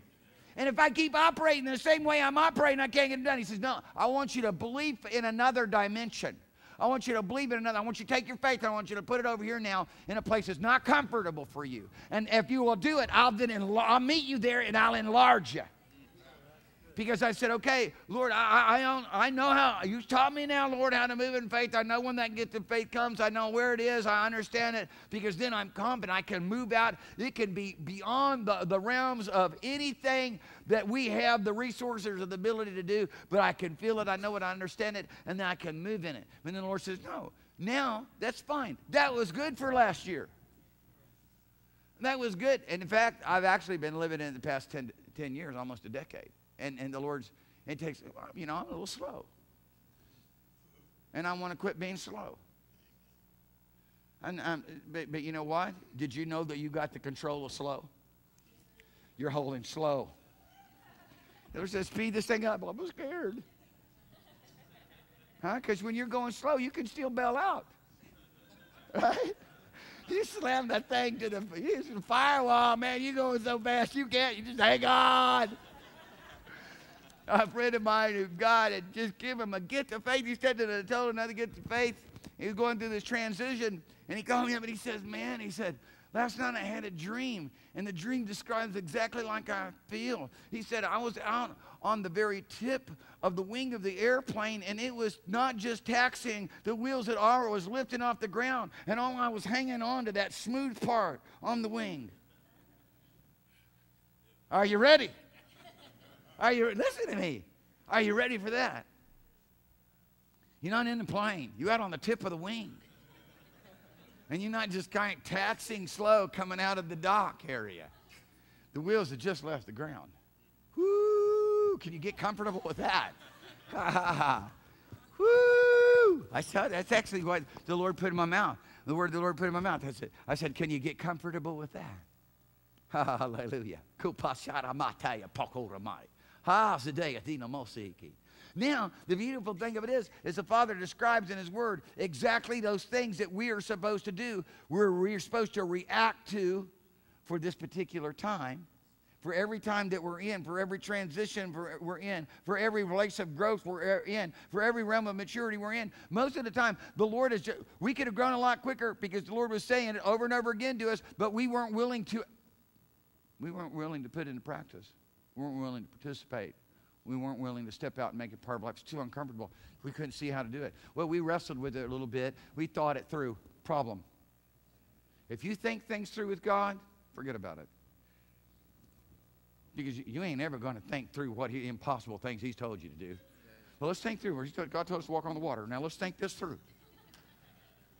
We can't do that. Yeah, let's think this through. God told us to raise the dead. Now, they had a heart attack and uh, kind of brain hemorrhage. And uh, let's see what all is going to have to be. Every cell in their body's dead now. And it just keeps getting bigger. Jesus made it smaller. Oh, she's not dead, she's sleeping. He made it smaller. We make it bigger. We make it more, in our intellectual process. we make it more difficult. He makes it more simple. He pares it down to what it really is. We make it what it really is. what we perceive it to be within the framework of our limitations, of our beginnings and our ends. Father wants to teach us a whole new way of thinking. That's going to be that's challenging. You got to be committed to this. You know how you, the first step? I no longer live, it's Jesus. Hallelujah. I'm not in the earth. Jesus said, He said, they are clean through the word which I've spoken unto them. Hmm. They are not of this world, even as I'm not of this world. With all, they, and you could say Peter's only ankle deep or knee deep. Still, listen what Jesus is saying. With all the problems, Thomas like, I'm not believing nothing until I put my fingers into his. They are clean. They are heavenly. They are of divine blood. Listen to him. Not of this world, even as I'm not of this world. You need to start thinking different about yourself. You need to get out of your rules and regulation and get into relationship with Him. You need to get out of your, uh, of your obligation and get into the participation, the reaction, the relationship of it all. The privilege to do it the Lord says, whatever you ask me, I'll do it. Why? Because I love you. Look at you guys. You, you, if your sons ask for you, ask you for a, a, a, piece of bread, you'd never give him a stone. And how much more? How much what, How much better am I going to take care of you when you ask me for something? Okay, Lord, I'm going to tell you right now. I'm all here. I'm going to hang on everything I got. You go first. he can't go first. Because what, uh, what He wants to give us only works when we let go of everything. That's the only time it's noticeable. In fact, everything we're holding on to over here and all scared and intimidated about not letting go of, He gave it to us anyways. Because we came into this world knowing nothing, having nothing. By the miracle of His divine will and grace. And then we act like we got here on our own. Huh? And we, oh, we'll take it from here. Can one sparrow fall from the heavens, from the sky, and your father not take note of it? You are more valuable than many sparrows to me, the Lord says. God gave us this very small beginning, this beginning of this moment of time where we began with a destiny, a call to come into a place of ruling and reigning with Him in His divine power and glory throughout the ages. And this is the simplest thing, the most fundamental thing, and we don't get it. We're, we're stuck right now at whatever age you are. I'm 56. I'm just 56. I better not be living for who I am in this world and at 56. I better not be living whatever age you are, and whatever thing you're doing, whatever thing you got going on, because it's got to come into an end, in, in, in, an abrupt end, a screaming halt. You living with a divine privilege and opportunity to be taught the ways of the living God. That which Satan walked away from, that which the many mighty angels walked away from, that which many men have refused to lay hold on and have opted out of. God's giving you an opportunity to say, okay, I'll be taught of you. I want to learn to do it your way.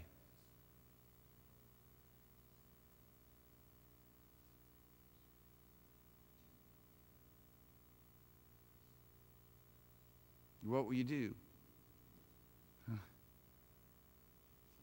I'm, I just challenge you right now to grab a hold of his life, to be persuaded of it, and get passionate about it. I, I, I pray today that you be that you be given over to love and compassion. And I, I pray today you be given over to the shouts of joy. I pray today that you'll be given over to a place of living out a relationship with Him in such a way that you could be in a, in a, in a, in a, in a terrible place as I was this past week and have a visitation from heaven just because the Lord takes and removes out of the way every sense of doubt to know with absolute certainty that he's listening to every word that's coming out of your mouth and he's standing before you. Who is man that he's mindful of? Son of man that he visits him.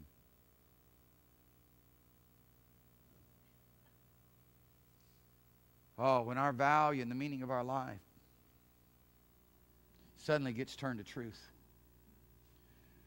suddenly begins to be measured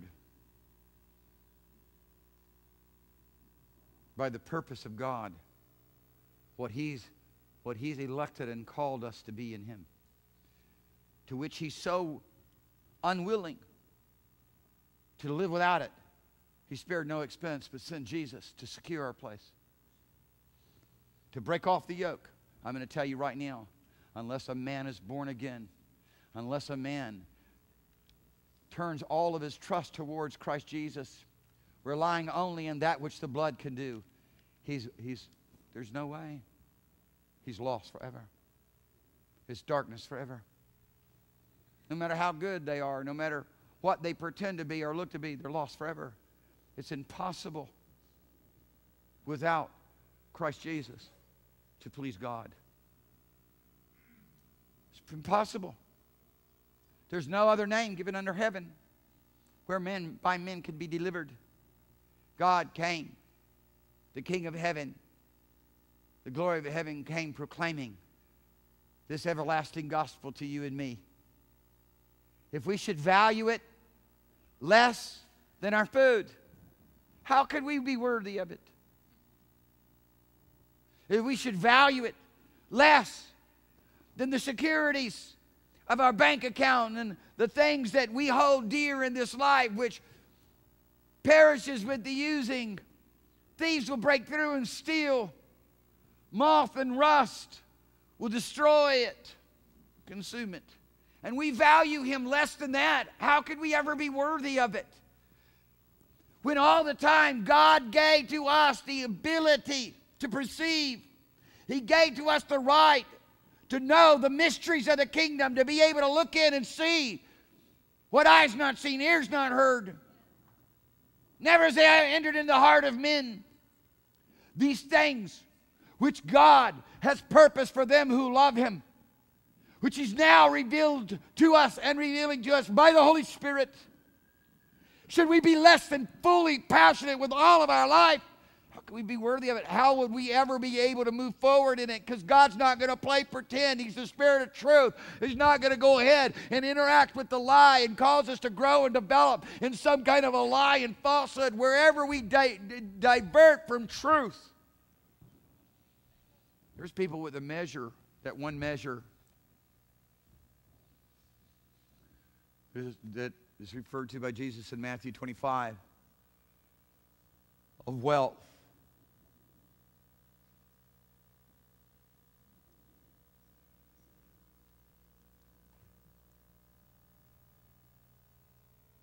Who just stopped at the introduction to this abundant life and never participated with it. There's people who were given that five, as it were, measures of wealth, who operate in that five measures of wealth to some degree, even as the person who received the one measure of wealth just more or less just kind of operates in the ritual of salvation. You know what I'm saying? They never move forward. They make no increase. There's even a greater responsibility to the five. What did the five, the one who was given five make? He doubled it. What happens when the one is given five and he does nothing with it? There's an anointing, there's a grace, there's a divine gifting. Solomon had an anointing, a grace, a divine gift, and look what he did. He perverted it and polluted it. Hey? Think about it. Listen, there's only one place of security here, and that is to be that is to be totally given over to these things of the kingdom of God in a way to where it displays a great passion, where, where it consumes and it's deserving to consume our every conscious thought. And maybe it starts just like on this level Lord, I don't understand, but I want to. I, I don't get it, but I want to get it. I don't know how to communicate it, but I want to communicate it. Because it ain't going to take long, and that prayer is going to be answered. So that you can then go ahead and move on to now getting it and enjoying the results, you know, and the fruit of getting it and seeing it and understanding it because we know it's His purpose that we get it because unto us has been given to, to know the mysteries of the kingdom.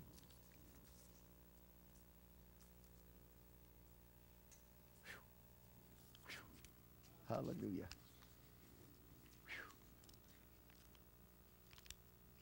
The Lord comes and visits me in some of the most amazing situations. It seems like I have been visited by the Lord very consistently in the most humbling situation. But in every, every time, I've been in many humbling situations that I was not thankful for. But every humbling situation that I was thankful for, I always got a visitation from the Lord. In some of the most humbling situations, I got the visitation from the Lord. Because He's really only going to move in that area. We think He's going to come to us in our high and our lofty and our good and our self conscience, and we're so full of ourselves. Have you ever noticed that people can be full of themselves? Wow, they're really full of themselves. Have you noticed that? When you're really full of yourself, you don't notice that other people are full of themselves. Huh? It just it seems normal. And it's the right way to say it. The Lord wants us to empty ourselves. God emptied himself. You have to have a spirit of wisdom and revelation to get that one. You have to be able to see what I cannot see. God emptied himself. We call it the kenosis. God emptied himself. Became a servant. You reckon you could? You reckon you could come down off your throne for a minute? You reckon you could come off the throne of your responsibilities and your goals and your issues and your needs and your problems? Could you come on down off that for just a little while? Take on the form of a servant and find out how really how good it is? That you'll begin to discover. Come on. This glorious outpouring of God's divine love in the midst of servitude. Come on. Come here. Come over here. Get over here. Get over here. Quit being sad and sorrowful and disappointed. See Jesus, you'll know you won't be. As long as you see yourself, you'll be sorrowful. You're gonna be you're gonna be tossed. You're, you you you be careful. You're be careful. People all the time getting a proof that their house is built upon their own perception of themselves. Because the storm comes and they collapse. Great is the fall of that house. So what are you going to do? I was built on the sand. I must just be built on the sand. Get on the rock, men. Get on the rock. He's just God gave you in a moment, an opportunity to realize what's really going on here so you can get yourself on the rock. So it's not about you no more. Ha ha. Hallelujah. When it's not about you, signs and wonders and miracles to be demonstrated. When it's not about you, you're not going to be intimidated by Satan and hindered from moving in the faith that God has for us to show forth his power and glory in the earth. When it's not about you, Father is fully released to do all that he wants to do. When you're completely out of control, he's totally in control. When you can stand back and just watch what he'll do. Should we form the men in columns?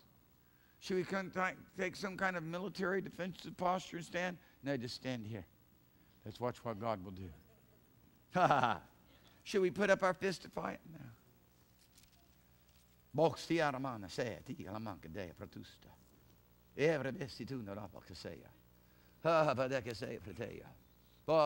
With what do you need that men provide? What amount of treasure that comes out of the realms of that which the arm of flesh can gain, so that you may occupy the place that God has freely given. Doesn't it sound reasonable to you that you should abdicate your self interest? That you should now, from this day forward, lose your life and no longer hold on to it, but rather begin to live for Him, begin to take a step of faith and prioritize God and seek first the kingdom of God no matter where you're at, no matter where what you're doing. No longer occupied with the things that will constantly distract you. I've known anointed men of God that all that happened is they would find another refrigerator to repair, or broken down car to repair, or broken down shack to fix.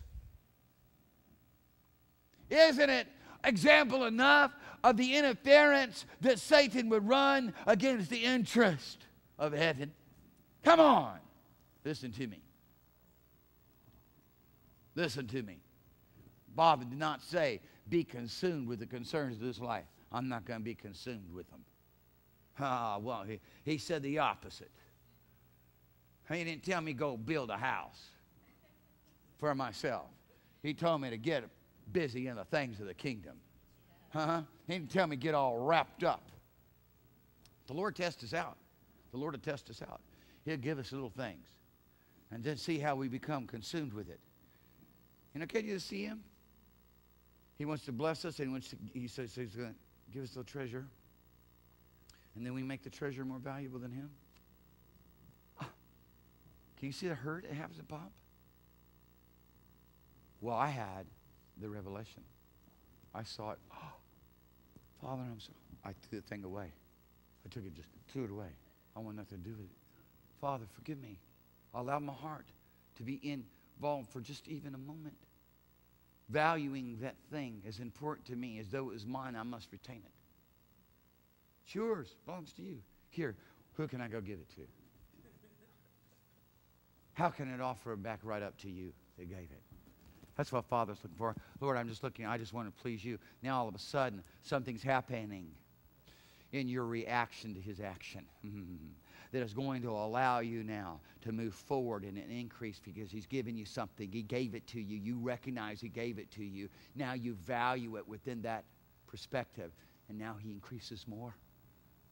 You take it and you hold on to it and you wrap your feet around it, and your hands around it. Mine! And it becomes, Satan will quickly make sure that it becomes such a distraction that it will consume your every waking hour if he can make it that way. You will soon not have time for church, barely time for ministry. We busy building our stuff, taking care of our stuff, counting our money. What are you doing? Well, we all here counting our money. You take care of your money, your money take care of you. No. Wealthy people will do that. Iron their money. Make sure there's no wrinkles. Lay it all out there, wrap it up in the little thing, wrappers. Get all organized. Get a little treasure. Every so often, bring it out and go through the whole ritual again. It's true. I'm not, this isn't pretend. It's not make believe, I'm telling you. I've been told, you take care of your money, your money take care of you. Well, at least he knew it. At least he knew what he was doing. Hey? And he served Mammon. And Mammon rewarded him. Some people serve Mammon and get nothing. He served Mammon. He went all the way with his God. Well, he was supposedly a Christian. But he made several million dollars back in that day, back in the 80s. This one person comes to mind. He's worth millions, literally millions, all of his assets that his children's now inherited. And he's dead and he's gone. And I wonder if his money's taking care of him. I say it's not. His money's not taking care of him.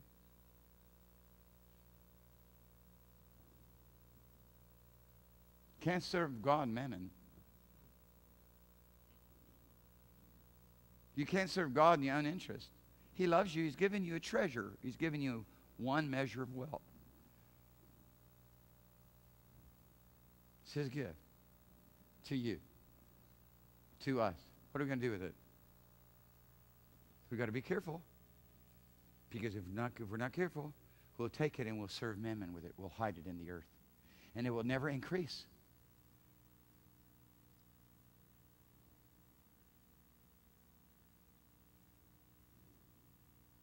The Lord gave us something. He gave us the treasure of the new birth. He gave us the access and the privilege to know Him in a way that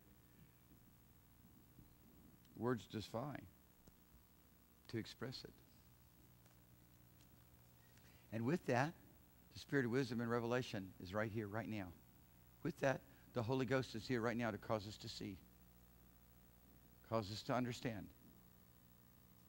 All we have to do is begin to say, I want to see. We don't have to get down on, oh God, I'm so sorry. I'm just, I'm just sorry. Oh, sorry. Sorry, sorry, sorry, sorry, sorry. Sorry. Sorry. To get up and just go live the same way. We say, Holy Spirit. Because see, we we sorry. Yeah, we are. And we never will be much more than that. But God in our sorry state, hallelujah, came and made us something far more than we can ever imagine in Christ Jesus. So now instead of getting down on our religious little posture, I'm sorry, I'm sorry, we can now say, Holy Spirit, come strengthen me, come fill me. Come help me. Come give me this ability. Show me how to move with you. Not to be a forgetful hearer. Now we got to go somewhere because we're doing the right thing, asking the right person. Moving in faith instead of just being sorry. It's okay if somebody wants to get down and say, I'm sorry, sorry, sorry. And sorry themselves for a while so long as at the end of it they say, Holy Spirit, now come strengthen me. But unfortunately, when you get that sorry, you don't ask God for help. You just get in a sorry state of being sorry about being such a sorrowful, sorry failure. Huh? Huh? And you stuck. It's time to do it differently. You don't even, you don't even live anymore. You don't even live anymore. You don't live anymore. You don't even, you don't even live anymore. You, I'm gonna sing. I'm gonna make it write a song. You don't live. Uh, we'll just like write a song like, I don't live anymore. It's you that lives in me. Something that you you need to write the song, so that you go around singing all the time until you get it. Till you begin till you begin to move and cooperate in every action, every deed, every word in the basic reality of what Father's freely given to us. This unmeasurable, unimaginable gift is far beyond anything that we could think or ask. And so the Lord Jesus describes it here, in Matthew 10, verse 39, and he says this He that finds his life shall lose it. Have you found your life? Are you really satisfied with your life? In other words, uh, this is what you live for every day. We get up at certain such a time every morning and we we go off and we do these things, and then we come back and we do these other things, and then by that time we're finished with those things, we're done. And we say our good nights to the Lord Jesus and lay me downs. And then we get back up and we do the same thing over and again. And then we go to church, so consumed with this world, so overwhelmed with this world to hear a preacher talk about heaven to just get sad and sorrowful some more huh? to run to our security the next day to where we feel really comfortable about our job because it's going to give us a predictable amount of income so we can be certain that we're going to be able to pay the bills so we can now lay our head upon our pillow at night and sleep calmly, securely.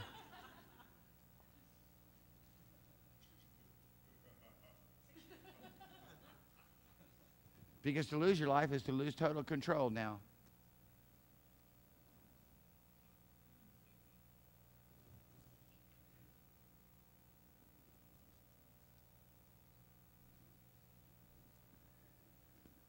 I don't believe that we have anything that's not deposited already in the kingdom of God. It's already deposited in heaven. I don't believe we have anything. I believe we can honestly say silver and gold have I none. It's deposited all in the kingdom of heaven. Someone said, uh, you know, I have $42 million I'm holding for God. I'm not kidding you. I heard this story secondhand from a reliable source. I have $42 million I'm holding for God. And she was like very late in life, 70s or so. I wonder how long she's going to hold that.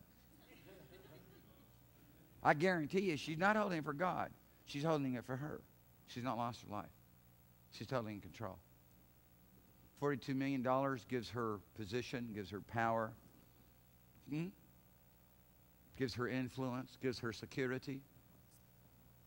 You can't have what God wants to give you when that's going on. I'm a I've got a degree in this and a degree in that. I've built the world and fashioned and formed it.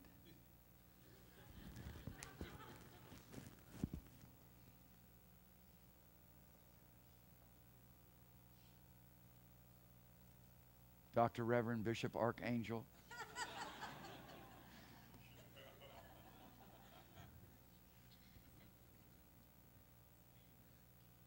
our titles, our position. I mean, what do you do? Well, I'm a minister of the gospel of the kingdom of God. Did you know that it's a great opportunity for you to get to minister the gospel of Jesus? When people ask you, what do you do? Well, I'm a minister of the gospel. Well, it's easy for you to say, Pastor, because you pastor, you minister the gospel. Did you read the Bible? Have you read the commission? Don't you realize? You, you sit down with people on the airplane all the time, what do you do? Well, what do you do? I minister the gospel. Here we go. I was in a room with a bunch of intellectuals. What do you do? Minister the gospel. Here we go. You what? Everybody basically looks down the floor. I did, I did just hear him say that. Doesn't he know that this is the high and, high and lifted up ones in here? Jesus. I'm a preacher. Because of what's going on, that's like saying I'm a thief.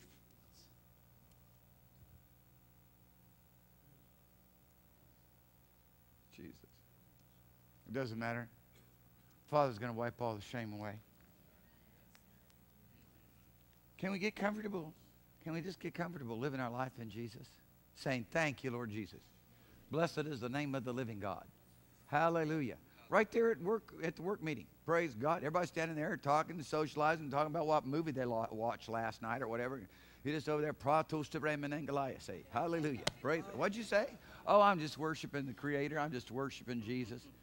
You, you know, the Holy Ghost is such a powerful influence in our life if we'll let Him be. He's right here, right now. You like to know about Him? I mean, maybe the Lord doesn't fill your mouth with that, but you get to be who you are. Huh? Everybody can be who they want to be in the United States of America except for Christians. And you know how it got that way? Because we quit being who we were supposed to be in a public arena. We started playing pretend.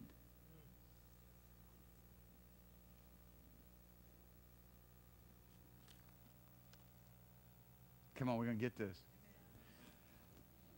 I was telling I was telling this guy he's an elder in a church, elder in a free evangelical church, and I said, listen, I tell you, my passion is raising up people who are passionate about selling out everything to go everywhere, preaching the gospel of Jesus Christ, living it out just like Jesus showed us how to do it. With signs, wonders, miracles, and prosperity too. Hallelujah. Now, come on. Don't sit around and look sad when you got that opportunity. Don't act like God left you out. God didn't leave you out. He ain't left you out. Well, I'm, I'm, not, I'm not been doing so well. he didn't. He didn't. It's not on the basis of how well you've been doing. It. It's on the basis of your willingness to allow God to live in you. Your willingness to say, "I no longer live. Christ Jesus lives." And begin to pray the prayer, Lord, reveal your Son in me. God who separated me from my mother's womb, who chose to reveal, who separated himself, separated me into his, from my mother's womb, to reveal his son in me. Paul's confession of faith. You were separated from your mother's womb by the living God so that Father could reveal his son, Christ Jesus, in you. And you're not going to be doing a very good job of that while you're out there spending your whole lifetime building a house. How long can it take you to build a house? Oh, your imagination. Three months, 30 years. You have to let the Lord build it. You have to let the Lord build it. He that builds a house labors in vain unless the Lord builds a house. Whatever house it is you're building,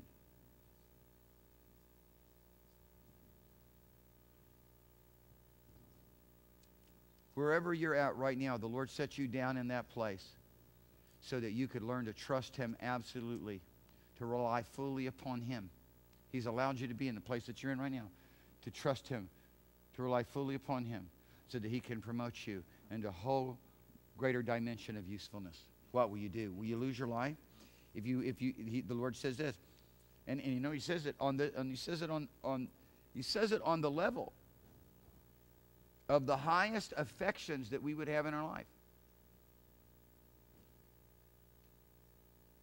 He that loveth father or mother more than me, it's not worthy of me, because you're going to get persecuted from your house. So he says, on the highest level of affections, on the highest level of interest.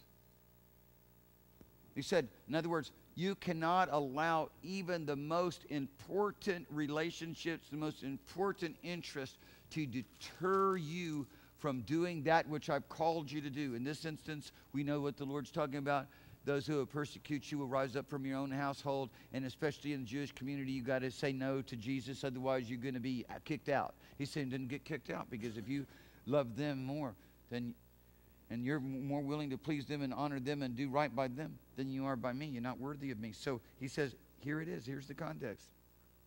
He that love, he says, therefore, he that finds his life shall lose it.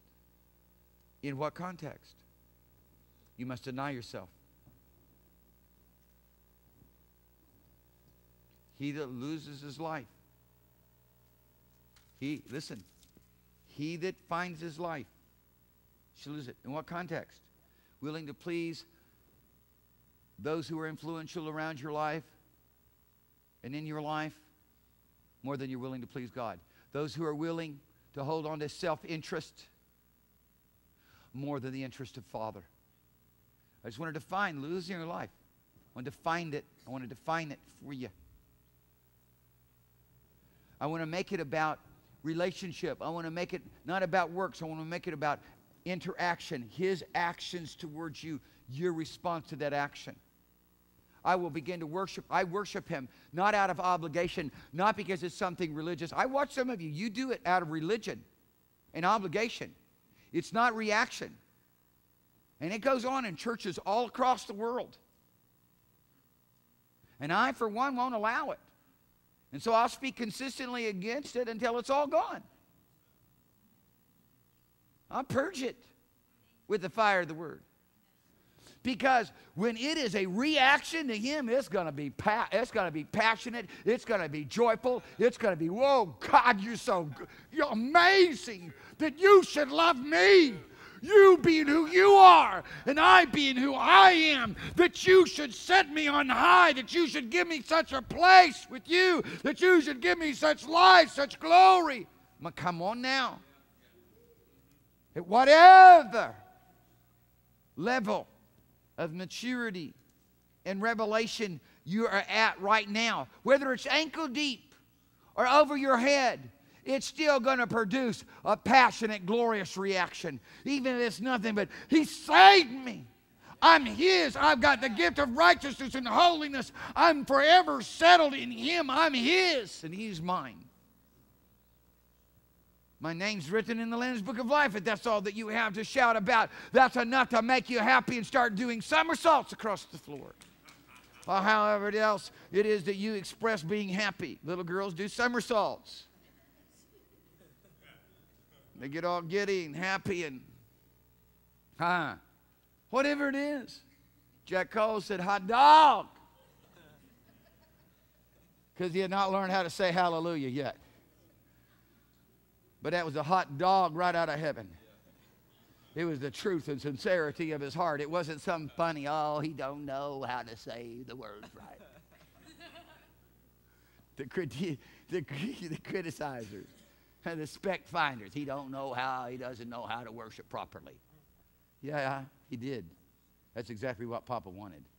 A hot dog from the heart, excited about a relationship with him. Is all he wanted. That's all he wanted. He didn't want no stale, lifeless, meaningless, not from the heart. Hallelujah. Huh? He didn't want no religious praise God. Come on now, people.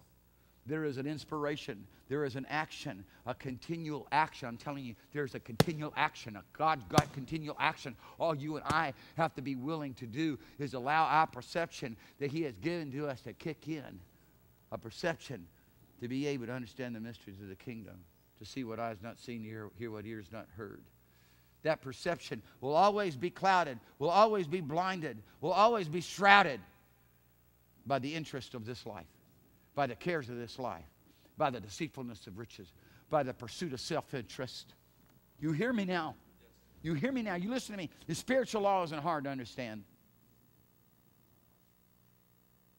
Revival always starts in people's lives by them emptying out all that they have and laying it at the Father's feet.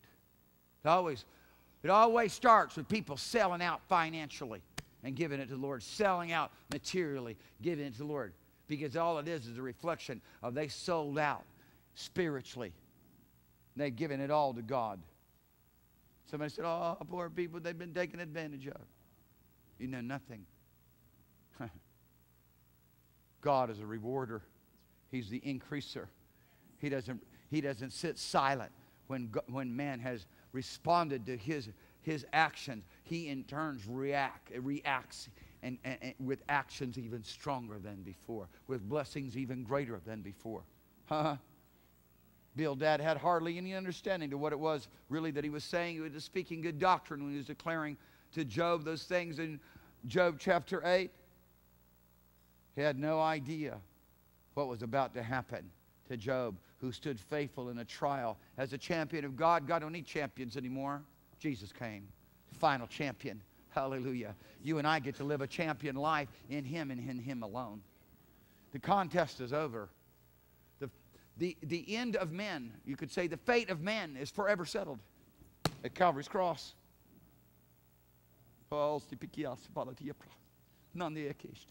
Listen, you listen to me. You listen to me. Every miracle you, that you need is found in this passionate relationship and interaction with Him. Every miracle you need. It's not going to be found in your doubt and your unbelief and your concerns and you being overwhelmed with all the situation. It's found in this passionate interaction with Him, being overwhelmed with His love so much that you don't even care about nothing, not your own life, nothing anymore is valuable or meaningful to you. You watch what happens. You start fasting, and you'll discover real quickly how things become meaningless. Your interest that you had will just fall off of you. It's, it's just something about the whole nature. Just almost, it's almost like a, a physical nature as well as a spiritual nature. Physical nature, all that's meaningful is water and food, and you're not getting much of either. That's all the priority. It's a physical thing It becomes even that much more. There's an impact spiritually because our physical realm is so connected with our spiritual realm. You can't dissociate the two. God's going to have them live together forever. Oh, Shiban and Aya. Oh, I pray in Jesus' name that what I'm talking about, that what God said in His Word, will be something that you so believe that you will have it. You will lay hold on it at any price, at any cost. You'll do whatever it takes. You won't hold back. You won't draw back. You won't live securely. You won't protect yourself. You won't be guarded. Oh, we don't know that we can trust you, Pastor. We've been around you for 30 years, but we're not sure we can trust you. 80 years from now, oh, we've been around you 80 years, but we're not sure that we can trust you yet. People live that way. I was talking to a man. Oh, we've seen the good, the bad, and the ugly in, in churches. Oh, we just don't know that we can trust anybody. Heard somebody say the other day, I'd rather, I'd rather hang out with the cows than human beings. Buddy, you got a rough life. Oh, I just rather be with the horses. What a perverted life. Dogs are better friends than human beings. If that isn't a de- declaration of your insanity. You with me? Something's been completely eaten out of you. Hmm? You have been shaped in the image of Satan, who hates humanity. Hates humanity. God loves humanity. God loves humanity. Those who have God living in them continually grow in such a love for men. No matter who they are, what state they're in. A compassion. To love them no matter how they act. To bless them no matter how they curse. Hallelujah. I tell you, the one thing that would have been hard for me to get over, the one thing that would have been hard for me to get over, is if I would have been one of the disciples that Jesus left behind. When he said, Come, Peter and James, come go with me. Peter, James, John, come go with me. Rest you guys stay here. I've been sitting there going, I, I wouldn't have got over that. I don't think I'd have got over that. When he came back, I'd have been saying, Why? What must I do? And you know, it's silent. It's sudden. It's it's sad that it's si- that that that that response is silent. It's not there. In the Word, I'd have been throwing a fit, man. The Lord have found me in a pile of, of tears and agony. I got. What's wrong with you, Mark? You left me behind. I didn't get to go. Why? What must I do to change? I'll do anything.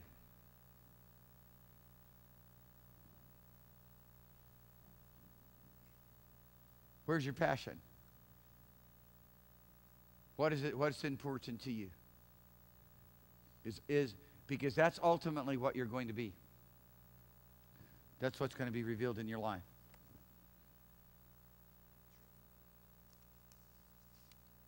He loses his life for my sake. She'll find it. Listen to that. They have something, right? Huh? But there's a choice to be made as to whether or not they're going to be able to receive more. They have something. It's been given to them to know the mystery of the kingdom. They have something. To those who have, more shall be given to them. But there's got to be a faithfulness. There's got to be a willingness for increase. Not out of our own human effort. Because that's not what the Lord, the Lord doesn't, it isn't, he did, and I, this is so hard for people to get. He didn't define that upon the things that you do within the frameworks of all the, the achievements that you have. He refined it, defined it within the framework of the things that you do with respect to relationship with Him. How in love you are with Him. How dependent you are upon Him. He won't fail you. He won't let you down. He's faithful. That's one of his names. You can rely on him. You can count on him. And then the Lord takes it to another level and says, Anyone who receives you receives me. Look at that next verse of Scripture. They receive you, they receive me. And fundamentally saying, they reject you, they reject me.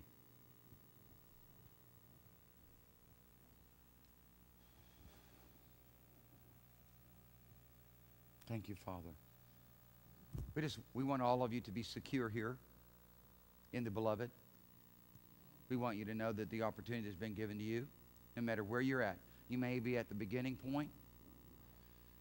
You may be some middle point. Who knows where you're at? All you have to do is begin to rely upon the Holy Spirit, begin to interact with Him, begin to say, Lord, I'll do whatever you want me to do. Whatever I have, it's yours. I give it to you. How can I be of service? What is it that you need? Master, I'm here to serve you. Can I stop there? If you don't hear an answer, you don't have a strong compulsion upon your heart, you just say, Lord, whatever you have need of, I'm here. I want to serve you. I want to serve you with my life. I want to serve you with the things that you've placed in my life that you've given to me. They're not mine, they're yours. How is it that we can serve you with them? You've given us strength. You've given us ability and energy. How can we take this strength and this energy and this ability and, and work for you and move for, for you and do those things which you want us to do? Look, people, listen to me. There's 500 million orphans right now. 500 million that could be saved. 500 million to be saved. I'm going to go for the 500 million. I want the 500 million. There's three, over 3 billion people that have never heard the gospel. Come on, listen, listen. There's a whole church that needs to be stirred up. They need to have a vision cast for them of going into all the world and preaching the gospel, seeing a means by which to do it. A culture shift needs to be taken, uh, takes place where no longer does ministry serve business.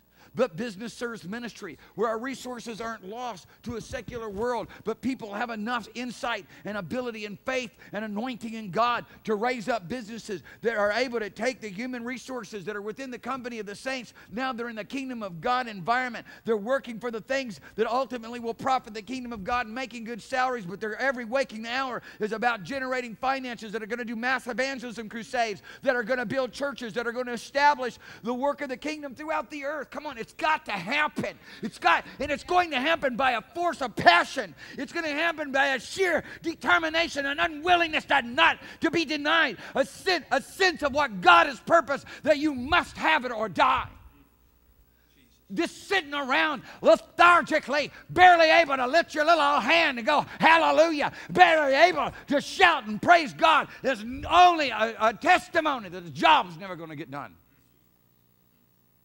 That's all it is. It's only a revelation of the lack of passion, the lukewarmness. At best, the mildness. I know mildness in me about God.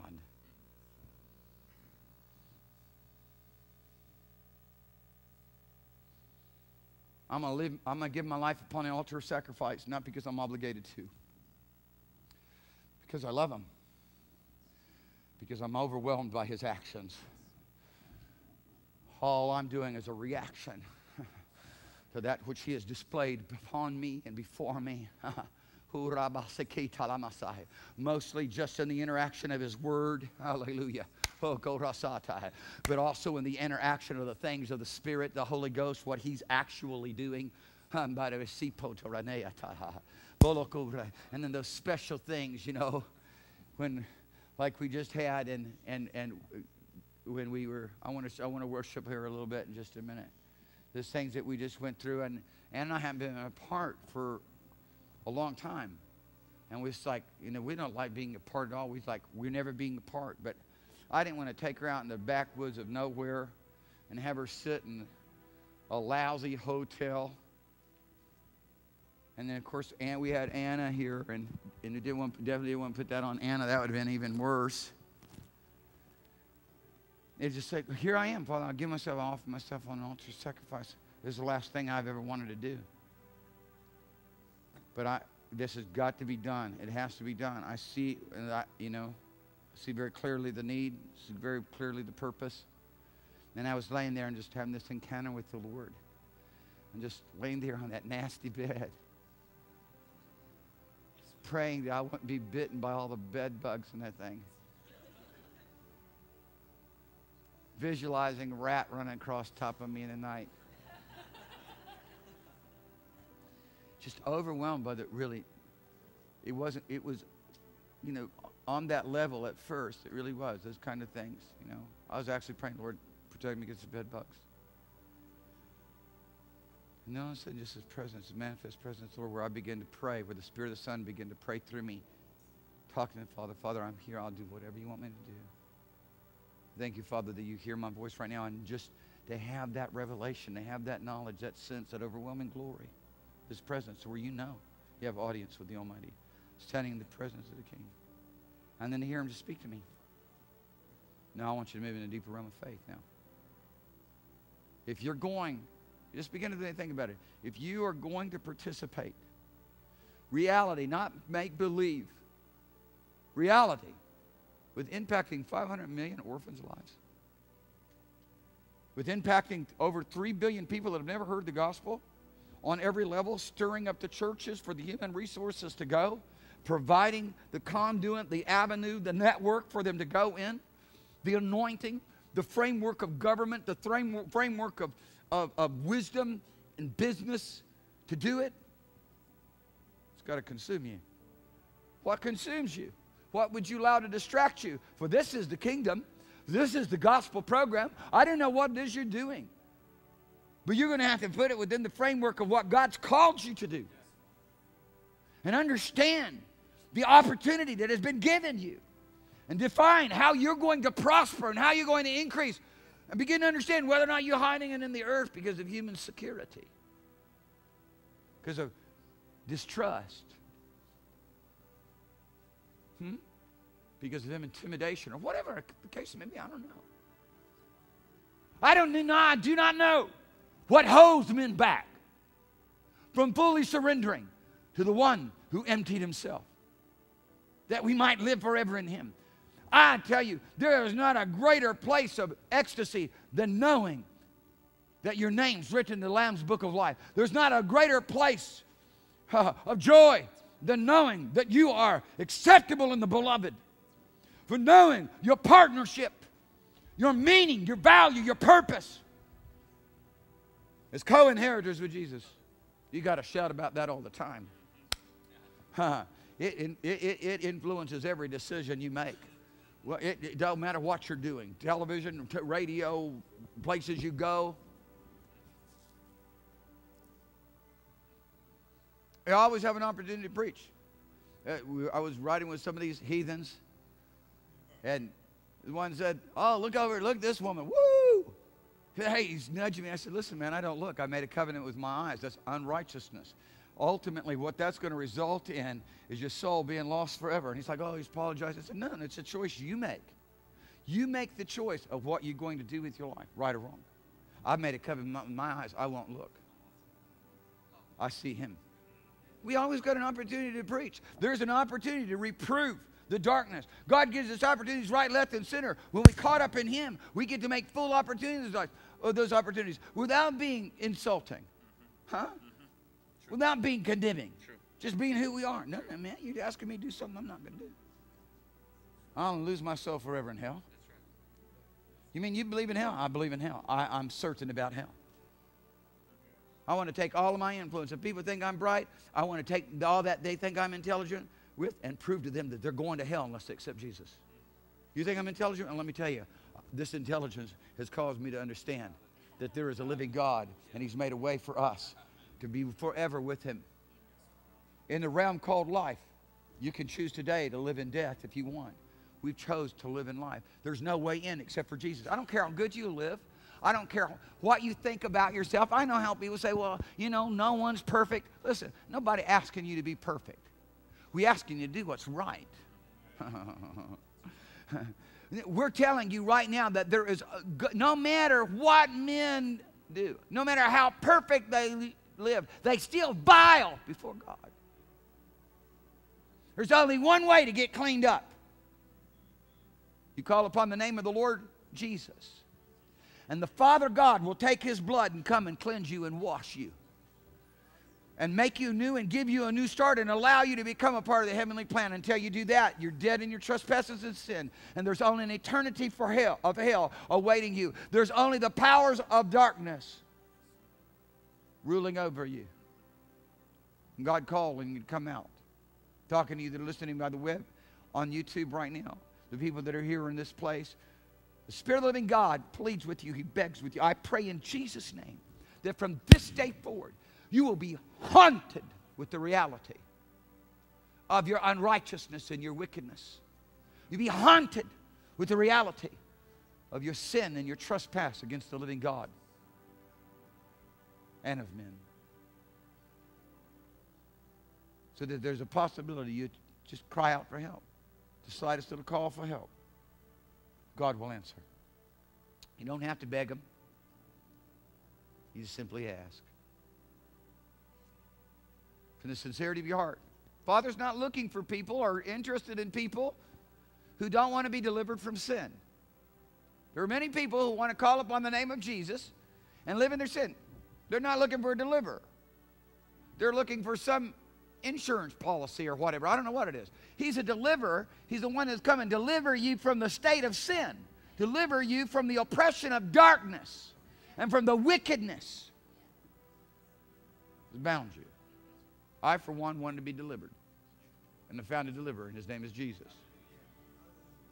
I'm sure that most of the people in here, if not all the people in here, came to deliverer because they wanted to be delivered from sin, from the curse of it that marred our life and influenced every action,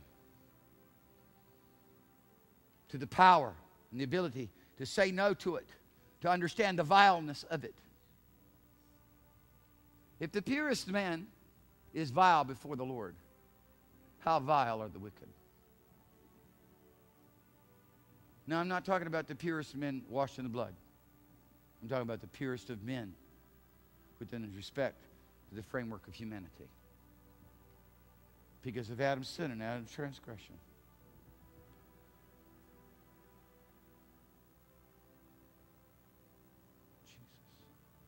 Jesus. Jesus. Takina Maladea.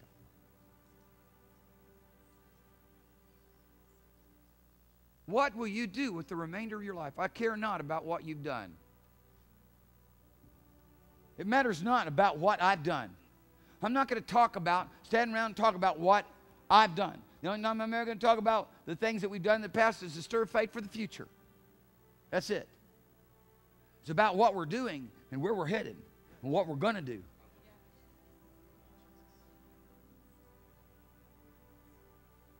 Somebody said, Oh, you did this and you did that? Come on, people. You failed here, you failed there. You succeeded here, you succeeded there. Matters not. What will you do now? How will you respond this day to the call of God? Would you continue to come in here and occupy a seat with a heart that's already made up its mind that you're not going to change, that you're going to do it your way? Oh, well, the Lord says that you're not even supposed to be a part of the body of Christ. You come in here with a heart, you might have failed.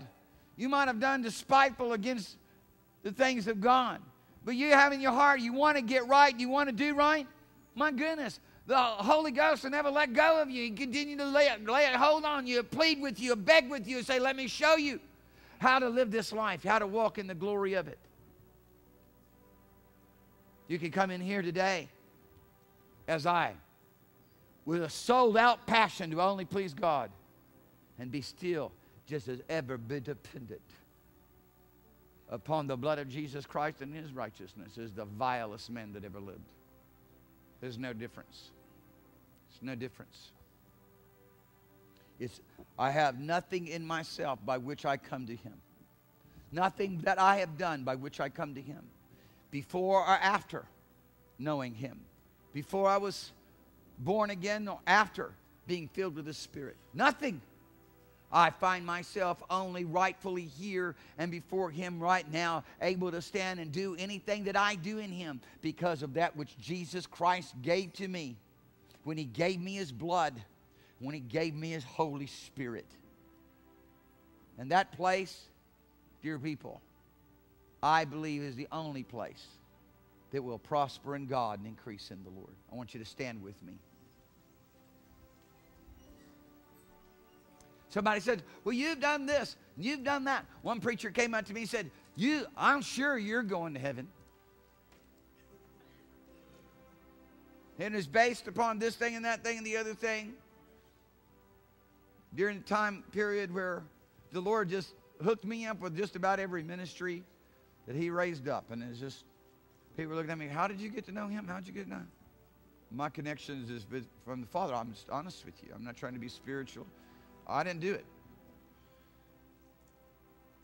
And you know, the reality of it is, is somebody, and he was serious. And we, we, we, we categorize ourselves. And we, we make ourselves significant or I- I- insignificant on, by, on based upon what we get to do. No, we all in him. We all in him. And what we have, we have received. And the measure of grace that we have, we have received from him. But don't you be like an Esau. And don't you be like someone who's lukewarm or willingness or willing to just let things go as they are. You get passionate. You get determined. Um, you get determined with God. Something that can only happen in the secret place of your life, in your heart, behind the closed doors of your life. Or you begin to say, Father, I don't care about my interaction so much with men and how I'm perceived by men. I'm now only interested in my interaction with you and how I'm perceived by you. And I want, to, I want more of you. More of you is available right now.